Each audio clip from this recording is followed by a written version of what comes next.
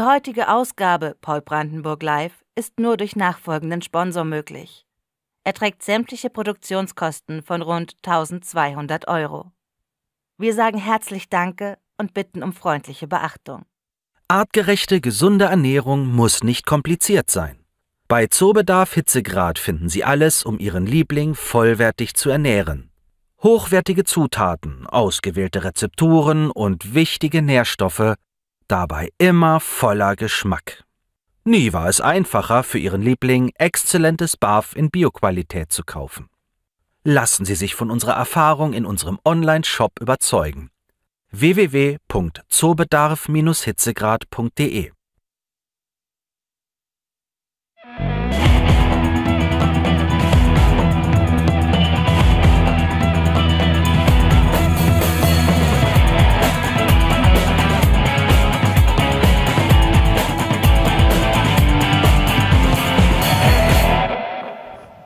Dienstagabend, 20.04 Uhr, Paul Brandenburg Live, heute präsentiert von Zobedarf Hitzegrad. Hitzegrad, Ihr BAF-Experte im Netz auf zobedarf-hitzegrad.de.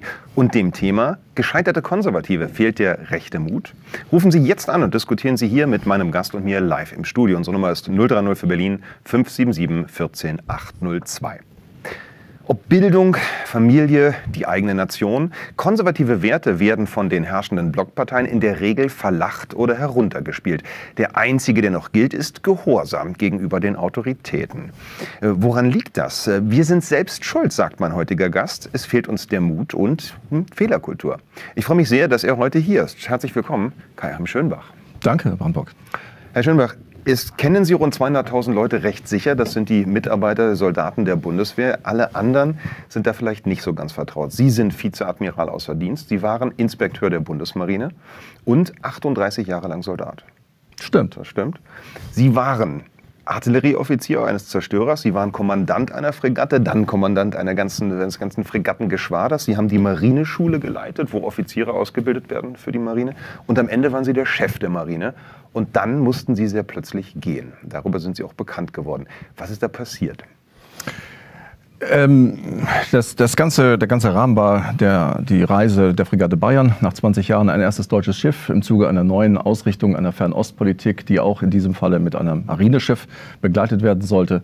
Und da musste der Inspekteur oder ein vergleichbarer Admiral regelmäßig an den Orten, an denen das Schiff eben Halt machte, auch Halt machen und dort auch hinreisen. Also bin ich auch unter anderem nach Indien gereist, nachdem ich aber auch äh, schon in Singapur und in Japan, Südkorea war. Und dort habe ich in einem Think Tank, den ich von früher schon kannte, denn ich habe für drei Thinktanks und tue es heute noch, schreibe ich Analysen. Und in diesem Think Tank, das war ein reiner Zufall, habe ich dann eben entsprechend auch vorgetragen. Und dann gab es eine Frage- und Antwort-Period, so wie das üblicherweise üblich ist. Das war eine Doppelveranstaltung, dauerte dreieinviertel Stunden. Wir waren uns alle einig, wir kannten uns. Und äh, es war verabredet Chatham House, das heißt also in-house, ohne dass es mitgezeichnet würde, sodass wir offen und frei reden könnten. Das war, muss man dazu sagen, ziemlich genau ein Monat, bevor Russland dann die Ukraine angegriffen das hat. Ist richtig. Das ist richtig. Tatsächlich habe ich dann hm, eigentlich relativ unspektakulär das eine oder andere gesagt, was ich auch in der Vergangenheit schon gesagt hatte, auch mit ähm, dem einen oder anderen Vorgesetzten schon besprochen habe. Habe aber äh, dann etwas gesagt und das, äh, die beiden Aussagen, die kann ich, mehrere Aussagen gewesen, aber zwei Aussagen, die relevant waren, die dann später auch zu meiner Entlassung geführt haben. Das eine war, und ich bringe jetzt mal die verkürzte Version, das eine hieß, die Krim ist weg und kommt nicht wieder. Punkt. Und das andere war, letztlich verdient Putin Respekt. Hm. Ähm, wenn man diese, so ist es ja dann auch in diesem verkürzten, geframten Video dann auch dargestellt worden, wenn man das so alleine hinstellt, dann ist das natürlich ein Wahnsinn. Punkt eins, ich wusste nicht, dass es aufgezeichnet wird, aber das, dahinter verstecke ich mich nicht, sondern der Punkt ist tatsächlich der gewesen, hätte ich gewusst, dass das aufgezeichnet wird, hätte ich diese Aussagen einfach kontextualisiert in einen höheren Zusammenhang. Ich habe nämlich nicht, der Kai-Achim Schönbach hat sich darüber gefreut, dass die Krim weg ist, hm. sondern lediglich zum Ausdruck gebracht, dass Russland, die russische Föderation, die Krim nicht auf freiwilliger Basis zurückgeben wird. Und das Zweite mit dem Putin hast Respekt.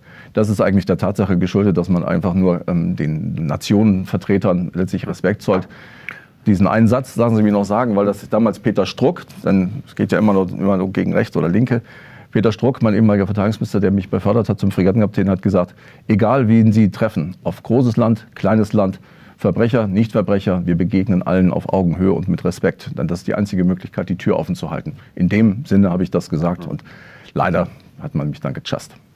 Das Video könnte jedermann bei YouTube nachschlagen. Das Ding ist, äh, ist, ist da ubiquitär. Es ist, man, man, sieht auch sofort, offensichtlich wollte man nicht sehen oder nicht zeigen, dass gefilmt wird. Das erkennt man am Winkel schon dieser, dieser ganzen Filmerei. Man erkennt auch sehr schnell, wie das geschnitten ist.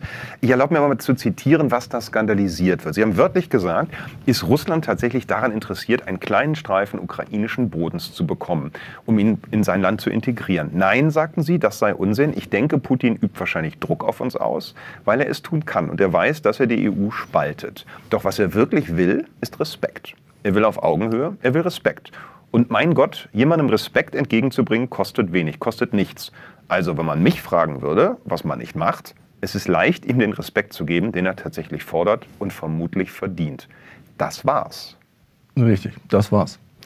Und der, der, Eingangssatz, den Sie gerade zitiert hatten, dieses kleine Stück, darum gedrehte es sich, das kann man aus der Gesamtdiskussion heraus erfahren, ging es um den Reststück des Donbass, der noch nicht von den Milizen und den Russen erobert war. Und da wurde ich gefragt, mhm. glauben Sie? Dann sagte ich, na, für diesen kleines Stück werden Sie auf jeden Fall keinen Krieg anfangen. Implizierend, wenn, dann geht es richtig los, mhm.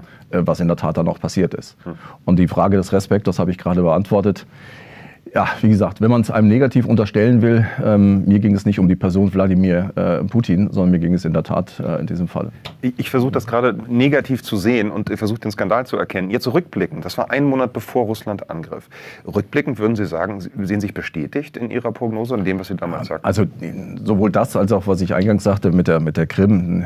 Ich freue mich ja nun weiß Gott nicht darüber, dass es so ist. Hm. Ähm, in der Tat kann man sagen, ja, okay, ich fühlte mich bestätigt. Tatsächlich hat äh, sowohl der Herr Bundeskanzler, auch die Frau Außenministerin, Außenministerin, wie auch Macron und andere tatsächlich das ja letztlich getan. Nicht, weil ich es gesagt habe, sondern weil es tatsächlich hm. in deren Portfolio gehört, tatsächlich auf respektvolle Art und Weise von Staatsmann zu Staatsmann oder Staatsfrau zu Staatsfrau miteinander umzugehen. Mehr wollte ich damit so nicht zum Ausdruck bringen. Es ist mir nur einfach anders interpretiert und anders kommentiert worden. Zumal, ich meine, Sie waren 38 Jahre, ich habe es ja eingangs gesagt, waren Sie Soldat der Bundesmarine. Wenn ich es richtig verstehe, als kleiner Luftwaffenhauptgefreiter, der ich bin, ist die wesentliche Aufgabe der Bundesmarine, die Ostsee gegen die Russen zu sichern, wenn man es mal ganz stark vereinfacht. Ja. Das haben Sie also hauptberuflich getan und nach 38 Jahren waren Sie plötzlich Putin-Versteher. Also, dass ich Putin-Versteher bin und plötzlich ein Unterstützer, wie ich das, glaube ich, war es ARD, aber ich will nichts Falsches sagen, mhm. schrieben, ähm, ich sei ein Unterstützer der, Krieg, der Kriegspolitik Russlands in der Ukraine, was ich mit keinem Wort getan habe. Das habe ich erst erfahren aus dem Fernsehen. Mhm. Denn, was Sie es gerade sagten, ich war Kommandeur der Marineschule und wurde kurz nach meiner Rede, zur Antrittsrede, wenn man das so üblicherweise hält, eingeladen zum ZDF und habe dort gerade bewusst auch nochmal aufmerksam gemacht auf die Bedrohung durch Russland. Das habe ich über die all Jahre getan. Meine Vorgesetzten, die mich kennen, und auch immer noch kennen und damals auch kannten, ähm, war natürlich auch klar, dass das unletztlich Unsinn ist aber dass es eben andere Zwänge und Drücke gibt, die letzten Endes meine, meine Entfernung aus dem Dienst machten. Das war dann Christine Lamprecht. Die Dame hatte dann das Pech, dass sie Fotos ihres Sohnes in einem Marinehubschrauber oder in einem Militärhubschrauber veröffentlichte. Die waren dummerweise auch dem Weg nach Sylt. Sie musste dann auch zügig gehen, weil sie sich sehr unschön verhalten hat.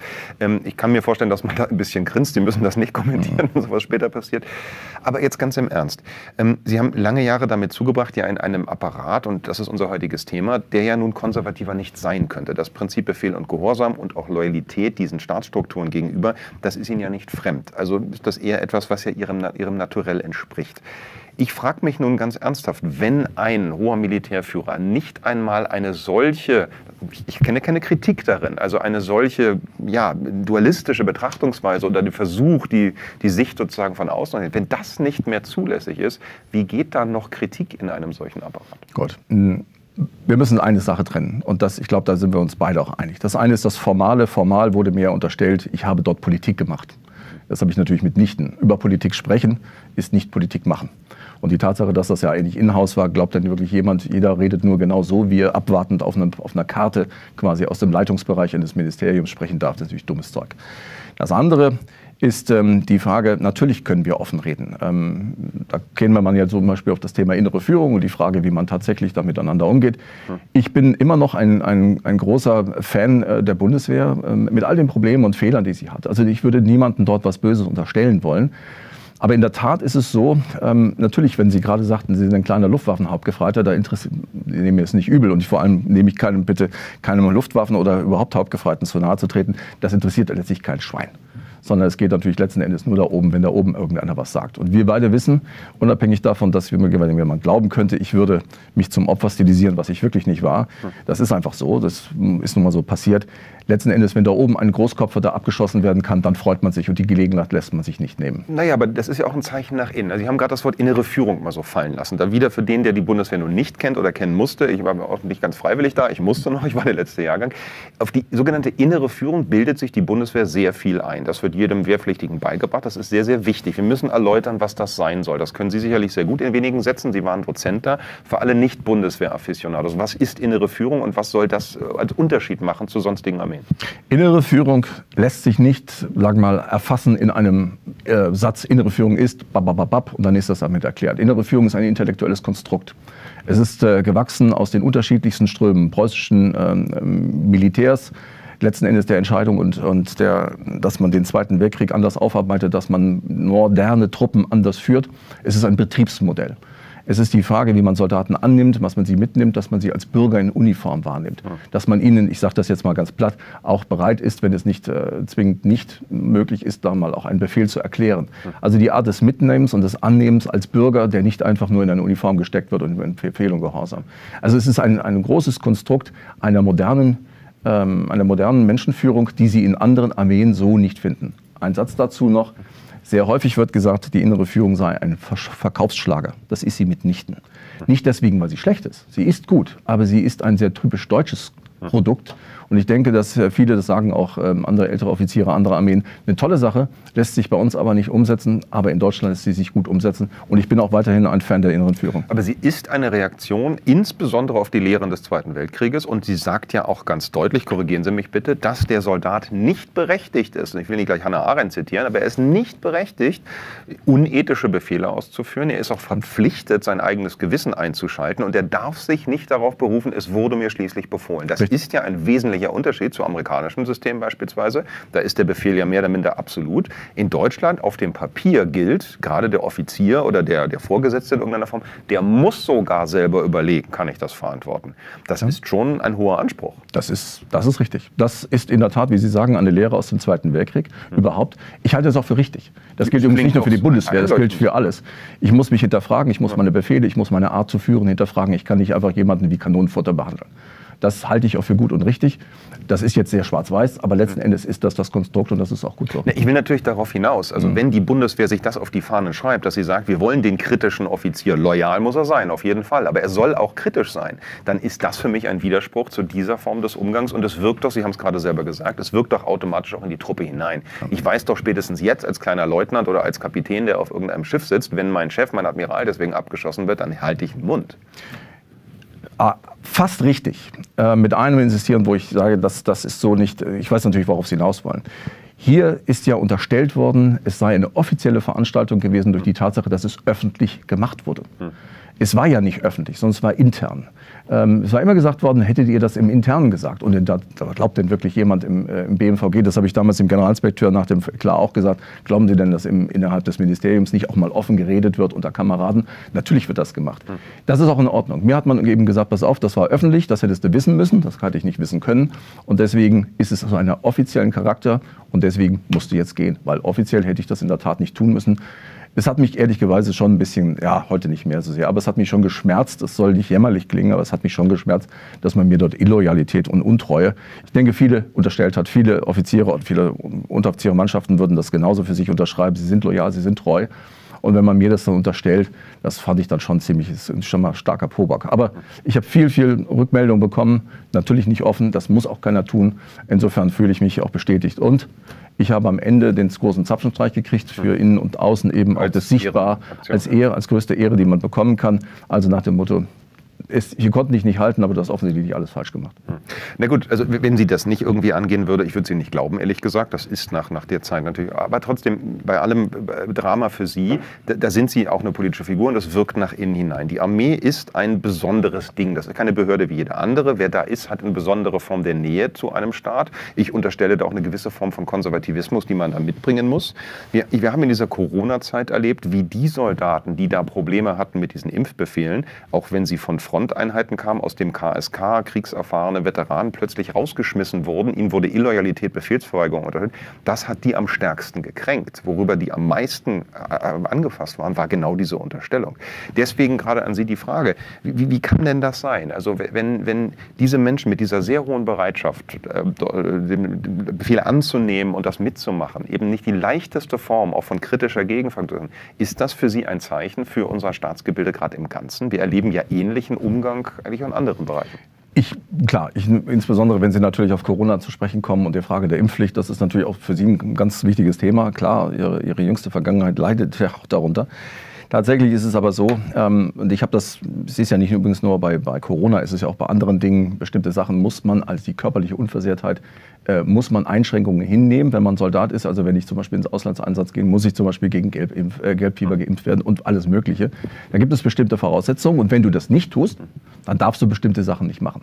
Also da holen Sie mich nicht ab nach dem Motto, das ist jetzt das Problem. Ich denke, dass mit dem Staat und die Frage, wie wir mit dem einen oder anderen Thema umgehen, da sind wir sicherlich ganz dicht beisammen. Bei den Streitkräften haben wir sicher eine Besonderheit. Also die Frage jetzt ging äh, die Soldaten, die tatsächlich dann auch schwer äh, bestraft wurden, beziehungsweise sanktioniert, sagen wir es mal so, sanktioniert sanktioniert wurden, weil sie sich haben impfen lassen. Das war ihre persönliche Entscheidung mit den Folgen, die sie zu leben haben, mit, mit denen sie zu leben hatten. Ich denke, das ist da, da bin ich mich selbst noch im Konflikt, weil ich sehe, dass ich auch andere Impfungen und auch andere Traktierungen meines Körpers akzeptieren musste. Aber dafür ist man dann auch Soldat und manchmal muss man auch einfach schlucken. Ja, äh, ich will das gar nicht, gar nicht so sehr auf das Thema Corona wiederkommen. Es war für mich nur ein Beispiel. Aber Sie haben es selber gesagt, wenn man andere Dinge da ablehnt, dann sind die Folgen deutlich milder. Dann kann der da eben nicht hin. Dann gibt es ja, leider Versetzung. Aber es wurde ja im Falle von Corona wirklich, da wurden ja, Sie kennen den Fall dieses Hauptfeldwebels, der da auch bei Bild war. Dann kann man sagen, wirklich ein Kriegsheld, ohne dass pathetisch klingen soll, aber nur wirklich der Prototyp des Soldaten, der sein Leben riskiert hat. Dem wird dann Befehlsverweigerung vorgeworfen. Das ist ja eher abschneidend zu sagen, also du bist jetzt ein Feigling. Und das ist er bestimmt nicht. Das ja. hat er bewiesen. Also das ist aus meiner Sicht sehr wohl ein politisches politisches Handeln. Das könnte man auch milder machen. Hätte ja, man auch anders machen können. Ja. Und die Frage ist ja für mich, und deswegen das unser großes Thema ist ja, wo ist denn dann der Punkt, wo der Soldat äh, mal aufstehen muss für seine Überzeugung? Also ich denke, Sie sind da ein, ein Beispiel dafür, der Hauptverbild war es vielleicht auch. Ist es denn vom Konservativen, und ich unterstelle Ihnen, aber frage direkt, betrachten Sie sich überhaupt als Konservativen? Würden Sie sich so einstufen? Also ich würde sicherlich konservativ, wobei Sie können natürlich, das Wort konservativ können Sie natürlich auf links und grün genauso anwenden. Ich sage, ich bin die nächste Frage bürgerlich. Ist, Rechter sind. Bürgerlich, da kommen kommen wir gleich zu. Ja. Bürgerlich, bürgerlich konservativ bin ich, ja, klar, sehe ich mich so, war ich immer. Ähm, insbesondere in einer Zeit, als ich äh, in der Schülerunion in Bayern im Jahre des Herrn 1982 Mitglied geworden bin. Da war natürlich eine CSU bzw. auch eine CDU geführt unter einem Franz Josef Strauß, der sich ja seinerzeit in der Mitte gesehen hat, was wahrscheinlich heute, na, was heißt wahrscheinlich mit Sicherheit natürlich außen, naja, außen rechts, aber sicherlich rechts verortet würde. Ähm, ich sehe mich immer selbstverständlich als bürgerlich-konservativen Menschen, absolut, ja. Würden Sie sich auch als rechts bezeichnen? Nein, ich käme nicht auf die Idee, jetzt zu sagen, ich bin ein Rechter. Ähm, ich würde auch, ich würde mich, wie gesagt, ich würde bei der Frage nach rechts, Mitte, links, ich glaube, das ist mittlerweile zu schwarz-weiß, weil das so aufgeweicht ist. Aber ich habe kein Problem damit. Wenn ich überlege, dass es selbstverständlich und ich finde es auch legitim, äh, dass jemand sagt, ich bin links, äh, mit all dem, was dahinter an intellektuellen Konstrukten besteht sage ich, wenn es heute, äh, muss es dann genauso legitim sein, rechts zu sein. Es ist etwas anderes, ob man rechtsradikal und rechtsextrem ist. Oder Aber linksextrem. Ich, oder linksextrem. Also wenn ich jetzt in diesem Falle sage, ähm, und ich meine, das ist ja jetzt kein Geheimnis, dass ich einer der stellvertretenden Bundesvorsitzenden der Werteunion bin, dann bin ich natürlich aus der Perspektive aller derjenigen, die links von mir sind, möglicherweise auch einigen, die in der CDU sind, bin ich ein Rechter. Würde ich damit hausieren gehen, so voranschreiten? Nein. Bin ich das? Naja, nach der heutigen Einschätzung dann links und rechts, ja klar, bin ich das, offensichtlich. Es ist in anderen Ländern vollkommen normale Kategorie. Das ja. ist also Right-Wing in angelsächsischen Ländern ist völlig in Ordnung. Da würde niemand die Nase rümpfen, sagen, ja. dass, das problematisch ist. Anrüchig ist es in Deutschland. Rechts ist ein abwertender Begriff. Und wir sehen in der Medienwelt, wenn rechts verwendet wird, ist das ein Vorwurf und das disqualifiziert denjenigen, der da gemeint ist. Und jetzt sind wir beim Thema. Der entscheidende Punkt ist bei der ganzen Diskussion, und das, ich meine, wir sind uns ja nun jetzt begegnet, jetzt erst zuletzt äh, in Wetzlar, und deswegen bin ich ja wahrscheinlich auch hier. Bei der Rechts-Rechts-Nazi-Veranstaltung der sogenannten äh, Treffens der Schwarmintelligenz ja. von Klaus Kelle, das wird seit acht Jahren, findet das statt, wir müssen es kurz erklären. Mhm. Das ist eine, ein, ein konservatives Familientreffen. Ich wurde da jetzt auch mal eingeladen, habe mir das angeschaut als Publizist, da habe ich sie dann auch sprechen sehen. Und das sind also all die Rechten und auch erstaunlich viele Nicht-Rechte, die da auftauchen und mitmachen. Ja. Und der entscheidende Punkt ist bei dieser ganzen Diskussion um rechts oder rechtsradikal, wie gesagt, bleiben wir mal beim Wort rechts rechts, genauso wie links. Der entscheidende Punkt ist, und das war ja auch mein, Sie haben ja gehört, was ich gesagt habe, der, der Vorwurf an die Konservativen oder der Vorwurf an die Bürgerlichen, dass wir uns die Definitionshoheit darüber, was Mitte, was rechts ist, ob ich konservativ oder bürgerlich, uns wegnehmen lassen und in die Hände derer legen, die es schlichtweg gar nicht beurteilen können. Die es in der Tat, wie Sie gerade sagen, als Diffamierungs-, als Diskreditierungsvokabular ähm, ähm, nutzen und rechts was völlig Legitimes ist, das genauso staatstragend ist. Und ich sage mal, um das mal vorwegzunehmen, weil wir gerade von auch links sprachen, ich meine, wir müssen natürlich vorsichtig sein, dass wir in keiner Blase festhängen. Mancher Sozialdemokrat, älterer Sozialdemokrat, kann mit uns ja gut diskutieren, weil er auch eine staatstragende, eine staatstragende Auffassung darüber hat, wie dieses Land ursprünglich mal gegründet wurde. Und ich glaube, ich würde niemanden ähm, auf die Füße treten, wenn man sagt, wie ein zum Beispiel Helmut Schmidt, und es gibt ja auch andere weniger bekannte Sozialdemokraten, die dieses Land mit aufgebaut haben. Niemand würde ein Problem damit haben, zu sagen, nee, das ist ein Linker. Und diese uns jetzt genannten Rechten sind genauso staatstragend. Wir dürfen uns die Definitionen nicht wegnehmen lassen. Und das ist der Vorwurf an die konservativen Bürgerlichen, dass wir immer wegkuschen und wegducken, wenn uns hier mit rechts irgendeiner was versucht, um die Ohren zu hauen. Hm. Zu dieser Begriffsüberlappung hat auch ein, ein Zuschauer angerufen vor der Sendung. Das scheint mir jetzt sehr gut zu passen und hat genau letztlich darauf hingewiesen, dass diese Begriffe ja verwirrend sein können. Ähm, hören wir uns mal Sandro an. Sandro aus Schwerin. Der hat nämlich eine besondere Einschätzung zum Begriff konservativ und was der auch bedeuten kann. Sandro aus Schwerin. Schwerin. Sandra Nordorf aus Schwerin. Mit der Abschaffung unserer Demokratie und der schleichenden Refeudalisierung erleben wir doch gerade Konservatismus in Reinkultur. Mit der Einführung eines Feudalsystems nach Vorbild des Mittelalters durch eine elitäre Minderheit zeigt sich ein Konservatismus, der uns als woker hipper Lifestyle verkauft wird. Tatsächlich, so scheint es mir, ist der Verfall des äh, seit Ende des Zweiten Weltkriegs gelebten positiven Wertekonservatismus der vorsätzlichen Zerstörung preisgegeben auf die Jugend, die mittlerweile nahezu komplett indoktriniert ist, scheint mir, können wir uns nicht verlassen. Müssen wir Alten wieder einmal die Kohlen aus dem Feuer holen? Und ist das überhaupt noch möglich?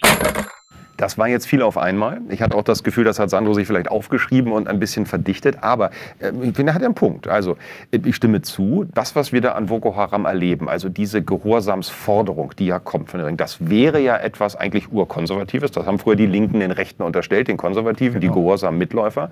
Und gleichzeitig beklagt Sandro aber die eigentlichen konservativen Werte, die er wohl so sieht, die gingen darunter verloren. Teilen Sie diese Einschätzung, dass da was auseinanderfällt? Also, wenn ihr von dem, so wie ich ihn verstanden habe, die konservativen wertkonservativen Elemente, die auch letzten Endes diese, diese Republik oder dieses Land nach, zwei, nach dem Zweiten Weltkrieg aufgebaut hat. Was sind das für Werte? Naja gut, es ist nicht nur Pünktlichkeit und Sauberkeit und Ordnung, keine Frage. Aber es ist eben auch das, was wir heute im, man kann es ja praktisch als Spiegel sehen.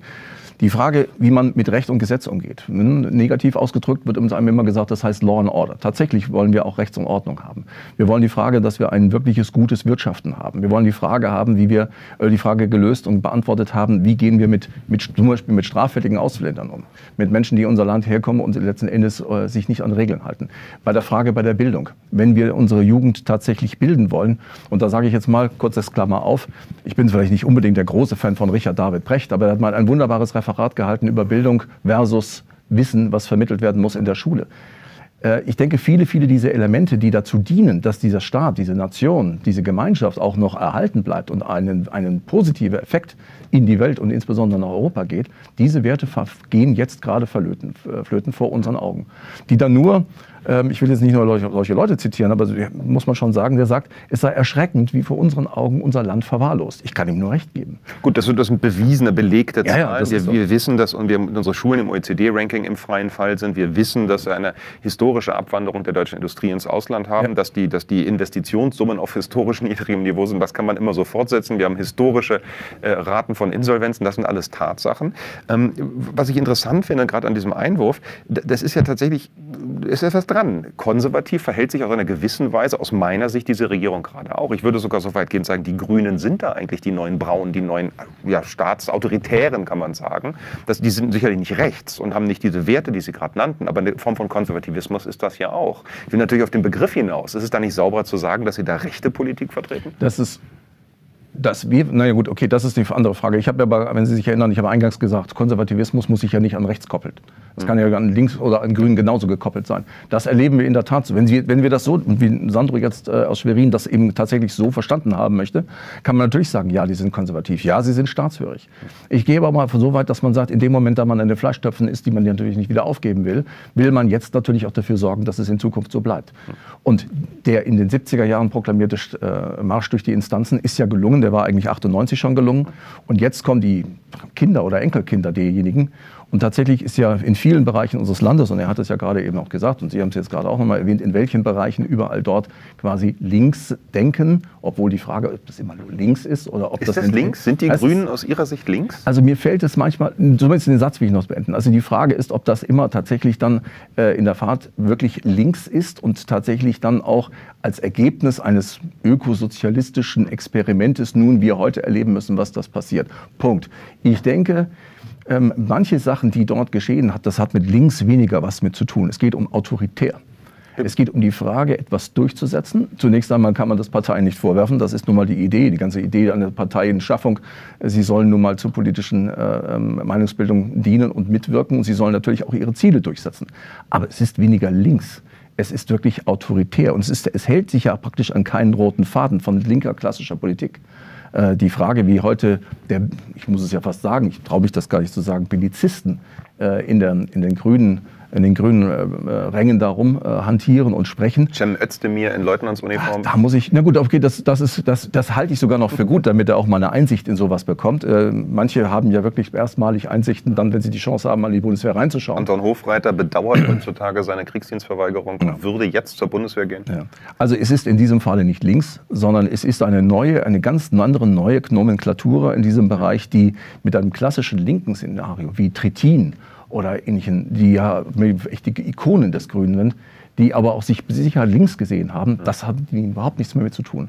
Und deswegen denke ich, ist es hier im Wesentlichen das Autoritäre und ähm, ja, das ähm, andere zu beugen und jetzt bitte das auch bitte durchzusetzen, was jetzt geschehen soll. Ich würde zustimmen und, und tue das ja auch schon seit langer Zeit. Ich erkenne auch an den Grünen nichts Linkes, dass das eine, Form von Ökosozialismus ist, also Ökoautoritarismus könnte man sagen, ja. Auch die Linken, die sich ja, wenn man die, die Link, Linkspartei Linken oder die, die Marxisten befragt, bestehen darauf, dass links Umverteilung ist zur Mitte hin, zum Arbeiter hin. Das Gegenteil findet statt in den letzten Jahren nachweislich. Wir haben ein immer weiteres Auseinanderklaffen von Großkonzernen und immer stärkere Verarmung der Massen. Also links ist daran objektiv nichts.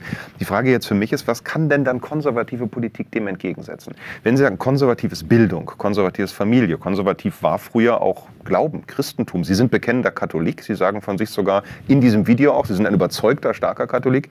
Die Katholiken sind im freien Fall, was die Mitgliederzahl angeht. Mhm. Also wenn, Sie, wenn wir jetzt nochmal bei dem Wort bleiben, konservativ, weil es ja offensichtlich überall anwendbar ist, bleiben wir mal bürgerlich, konservativ, zumindest diese Kombination, damit auf jeden Fall klar ist, auf welcher Seite. Na gut, das ist, das ist nicht links, es ist deutlich. Es sind in der Tat das, was Sie gerade eben genannt haben, sei es Wirtschaft, sei es Bildung, es ist Ordnungspolitik. Es ist die Frage, wie der Staat in seiner Verfasstheit tatsächlich dann sich tagtäglich ausdrückt, wie wir den Staat erleben, wie wir unsere Gemeinschaft erleben. Das ist ja genau das, wo ich, bei dem ich den Vorwurf an den konservativ, bürgerlich-konservativen Rechten von mir aus richte, dass wir hier wegducken dass wir uns von den hysterischen Schreiern, von denjenigen, die mit der Nazikeule jahrelang geschwungen haben, dass wir uns wegducken, weil man das als unangenehm empfindet. Ich habe in Wetzlar eine, eine ganz tolle junge Frau gehört, Sie haben sie auch gehört, Frau Stockmann, ich denke, das, das darf man sicherlich hier erwähnen, die nochmal über die Frage der Kommunikation auf den jeweiligen politischen Seiten gesprochen. Auf der linken Seite aggressiv, aktivistisch, laut, schreit. Auf der rechten Seite oder auf der konservativ-bürgerlichen Seite sind wir eher, wir sind konziliant. Wir wollen Brücken bauen. Wir wollen auf jeden Fall in dieser Art und Weise nicht auftreten. Was passiert? Wir kehren uns ins Innerliche. Der Konservative geht eben nicht auf die Straße und haut, was weiß ich, irgendeinen Stein in, in irgendein Fenster. Das wollen wir auch nicht. Das muss man auch nicht gleich tun. Man das muss, muss man nicht tun. Was zwischen Steine schmeißen und ich will damit nur, ich will damit nur Ausdruck bringen, äh, zum Ausdruck bringen, dass es eben auf der linken Seite sehr viel lauter ist und manche, und das kennt ja schon in der Schule an. Wenn ich erlebe als ehemaliger ähm, Vater, dessen Kinder, Vater bin ich immer noch, aber dessen Kinder in der Schule war, habe ich erlebt, wie Projekte durchgezogen wurden von eben vermeintlichen Linken mit linken Projekten. Hingegen ist, als wenn es darum ging, wir wollen aber jetzt tatsächlich hier Leistung sehen, wir wollen einen Lehrer, der hier die Leistung und der auch zusieht, dass das Curriculum durchbringt, da steht man dann plötzlich als ja altfordern und altbacksch es, ich will es nicht so läppisch machen, es soll nicht so klein sein. Aber letzten Endes fängt es dort an und endet dann oben, wenn wir nichts sagen. Aber woran liegt das? Das ist ja gerade Kern der Frage. Fällt den Bürgerlichen, fällt den Rechten da ihr Gehorsam auf die Füße, die Staatsgläubigkeit? Ich habe tatsächlich, äh, auch kein Geheimnis draus, wo Sie schon Frau Stockmann enttarnt haben, das ist natürlich hoch verboten gewesen. Nein, es gab, die ist da auf dem Fernsehen mit aufgetreten. Ähm, äh, es gibt ja, ähm, äh, ich hatte tatsächlich selbst mal den Vorwurf gehört aus dem bürgerlichen Lager, aus dem konservativen Lager, naja, für bürgerlichen Protest ist das zu scharf formuliert. Man darf als Bürgerlicher nicht zum Protest aufrufen. Ich habe klar dazu aufgerufen, diese Ausgangssperren zu ignorieren. Das ist das rechtsbrüchig, ist verfassungsbrüchig.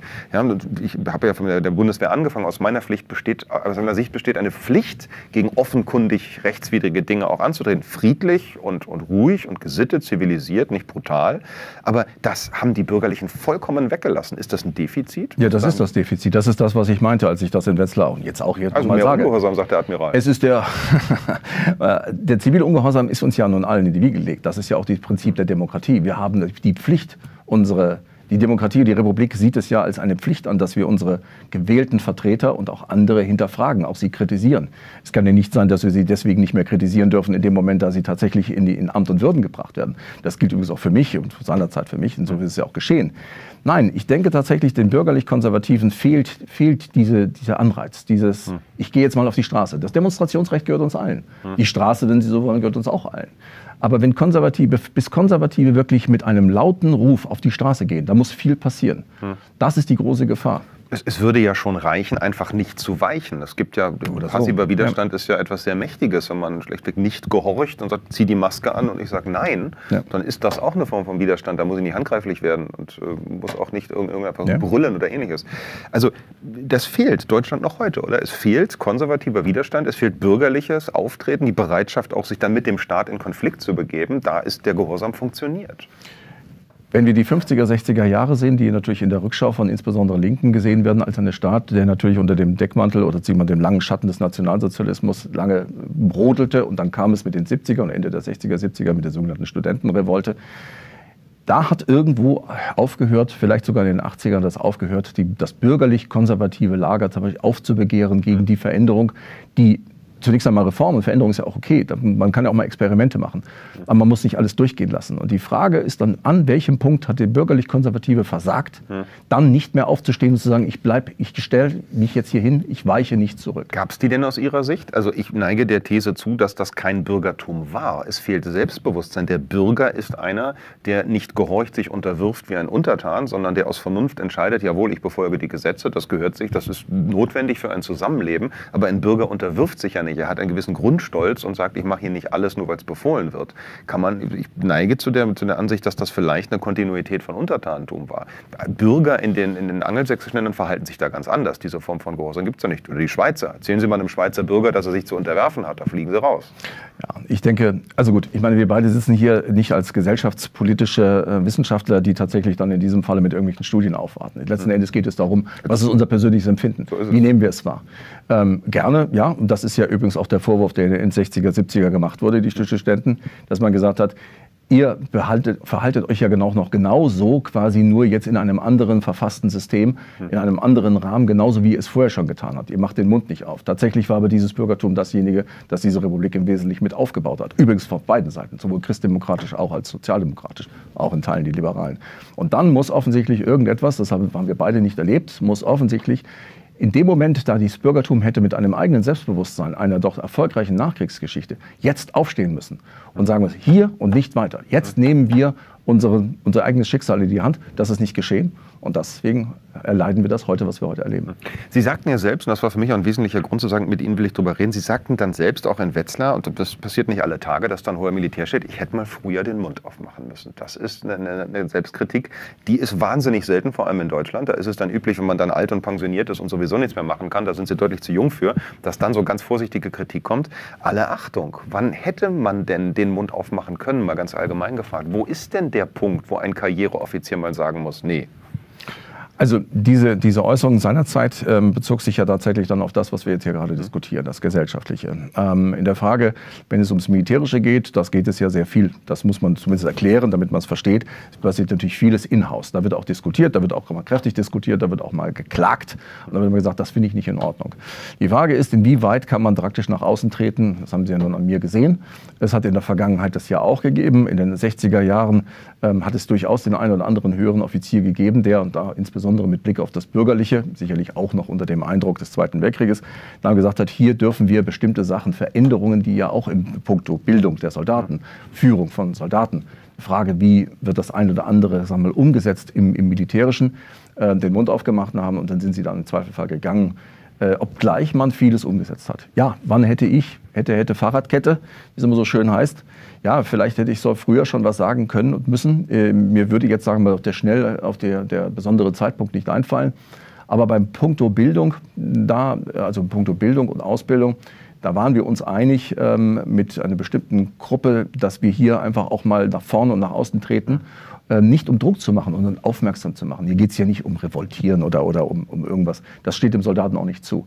Aber in irgendeiner einer geeigneten Weise, Art und Form das zu tun, wäre sicherlich möglich gewesen ähm, habe ich ver wir verpasst. Am Ende muss man ja aber doch konfliktbereit sein. Nehmen wir ein Beispiel dieses äh, Polizei, ich glaube, es gibt, glaube ich, mehrere Polizeipräsidenten in Baden-Württemberg, das ist da verteilt, da gibt es den mhm. Titel, glaube ich, sechsmal. Einer hat ja damals, das ging auch durch die Presse in Stuttgart, gesagt, nein, er knüppelt da nicht auf Querdenker-Demonstranten ein. Mhm. Das war eine friedliche Situation, da macht man das nicht. Der Mann wurde dann auch gegangen. Das war auch die sanftmöglichste Form von Widerstand. Er hat sich schlichtweg geweigert, Gewalt auszuüben, weil es nicht nötig war.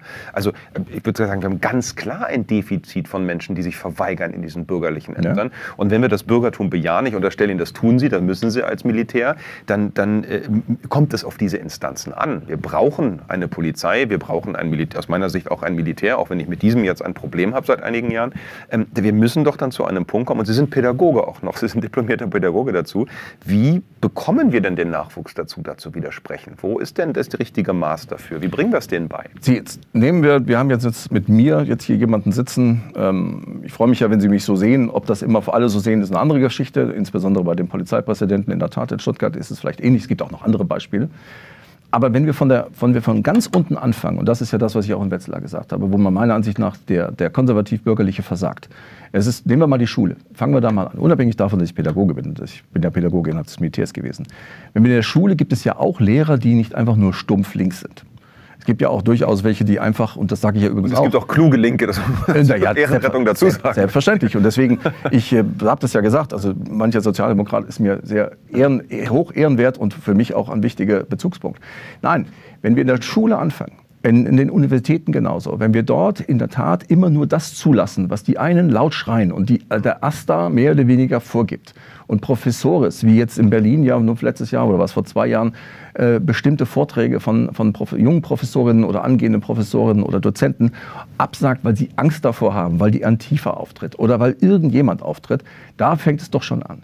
Und wenn ich einen jungen Lehrer, nun bleiben wir mal bei dem Beispiel, einen jungen Lehrer der Projekte, der eben nicht diesen Standard 0815 ewig linken gleichen Mainstream roter Faden folgt, sondern einfach sagen, wir machen was anderes. Wir wollen hier Leistung zeigen, wir wollen fördern und fordern. Ähm, das heißt es genauso in dem Umgang mit unseren, mit unseren Neubürgern äh, aus, aus muslimischen Ländern, wo man einfach nicht zurückweicht, sondern einfach sagt, wir bleiben jetzt hier mal stehen, weil die bürgerlich-konservative Auffassung diesbezüglich ist so und so und so und so. Mhm. Machen stehen bleiben. Und da müssen Lehrer, äh, müssen die Eltern unterstützen. Aber wir wissen das und ich weiß das, mhm. wie viele Eltern dann auch zurückweichen, weil sie schlichtweg Sorge haben, dass sie hier möglicherweise ausgegrenzt werden. Jeder Direktor, den Satz noch, jeder Direktor, der das, der, jeder Direktor, der in der Lage gewesen wäre, in der curricularen Entwicklung sich anders aufzustellen, der es aber nicht tut, weil es ihm unangenehm ist oder weil er vielleicht Probleme mit, seinen, mit seinem entsprechenden Vorgesetzten, die es natürlich im Kultusministerium in den Ländern jeweils gibt, das, da sieht man das Versagen des Bürgerlichen, weil sie schlichtweg, ich weiß es nicht, Angst haben, hm? Wahrscheinlich ist das. Ich, ich, glaube, ja, da liegt's. Ich bin auch, ich, ich hack da immer ein bei diesem Linksbashing jetzt nicht, aus, aus, weil ich das als Moderator meine, meine Pflicht ist, sondern ich sehe tatsächlich da keine linke Agenda. Ich halte diese Mitläufer nicht für links im Kern. Ich sehe mittlerweile auch bei der, bei der kritischen Abteilung viele tatsächlich Linke, dezidiert Linke, die aus diesem Spektrum kommen und sagen, das hat nichts mit den Grünen zu tun, auch nichts mit dieser SPD. Ich halte auch die, die CDU beispielsweise nicht mehr für konservativ. Das ist also eine, ein autoritärer Block. Und persönlich halte ich die Links-Rechts-Frage da jetzt gar nicht für die entscheidende. Da passt sehr gut dazu, was ein anderer Anrufer vor der Sendung sagt. Und ich möchte Sie, bevor wir uns das anhören, was in dem Fall, ähm, äh, was in dem Fall äh, Roman aus Norden sagte, ähm, rufe ich Sie auch dazu auf. Rufen Sie gerne hier an, live im Studio diskutieren Sie mit uns. 030 für Berlin ist die Nummer 577 14802. Stellen Sie Ihre Fragen oder auch Ihre, Ihre Meinung dazu, äh, zu dem, was Herrn Schönbach sagt, gleich hier live vor. Und vorher hören wir uns Roman aus Norden an. Mein Name ist Roman Göbecke, ich rufe aus Norden an. Für mich ist das biopsychosoziale Modell äh, das Richtige und das Entscheidende, was ja für Gesundheit und lange Lebenserwartung und Lebensqualität steht. Da verbindet eine, eine große Brücke äh, dieses, diese Idee mit dem konservativen Lager und äh, das, was die Linken darunter verstehen unter Lebensqualität, wirkt doch am Ende eher destruktiv. Das sieht man ja auch an diesen ganzen Trans- und Hype-Themen, an diesen äh, neumodischen Erscheinungen. Das zerstört die Familie, das zerstört den Körper, das zerstört die Psyche und am Ende auch diese Gesellschaften, die unter solchen Dogmen leben. Ja, also äh, für mich ist die Frage äh, nicht, äh, hat die Konservative verloren oder äh, die, die Linke gewonnen, sondern wir sollten vielleicht eine ganz neue Kategorie überlegen, Dingen, die für Ärzte und Psychotherapeuten sowieso schon länger zum Standard gehört. Drei Qualitäten, die für uns wichtig sind, um gesund zu leben, gesund alt zu werden und gut miteinander auszukommen. Vielleicht wäre es gut, nicht nur links oder rechts zu gucken, sondern irgendwo danach zu schauen, wo unsere Wurzeln liegen und was uns auf Dauer gesund erhält. Ja, schöne Utopie, aber der, der Kernpunkt oder der Hinweis darauf, diese Transideologie, diese, diese Auflösungsbestrebung, die es ja gibt gegen klassische Familienstrukturen, da stimme ich zu. Ich erkenne daran nichts Linkes. Das ist keine linke Agenda, das ist eine irritierende Agenda, die richtet sich gegen konservative Kernwerte. Aber das, das ist ja etwas, äh, was eigentlich im Herzen dieses, dieses Problems steht und da gibt es keinen Widerspruch dagegen. Wo, woher kommt das? Einigen wir uns doch, dann, dann wenn wir uns tatsächlich noch, eigentlich ist es interessant, dass wir jetzt darüber nachdenken, was ist überhaupt links. Äh, obwohl wir uns vielleicht bei bürgerlich-konservativ durchaus sehr klar darüber sind. Ja, weil es immer das Gegending ist. Ja, Links ja. ist gut, rechts ist schlecht. Ja, genau. Also wir sind ja nicht deswegen das, was wir sind, äh, weil wir uns angrenzen zu den anderen.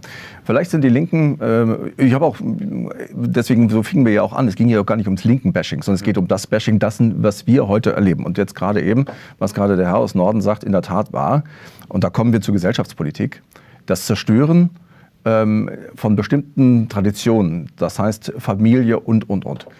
Auch da sage ich nur, ähm, der konservativ-bürgerliche Block, wenn es den mal überhaupt gegeben hat, wenn es den überhaupt heute noch gibt, denke ich schlichtweg, die, wir sind, sei es in den Gemeinden, ähm, sei es in den kleineren Städten, ähm, wo noch vieles einigermaßen funktionierte, wo es noch eine gewisse Sozialkontrolle gibt.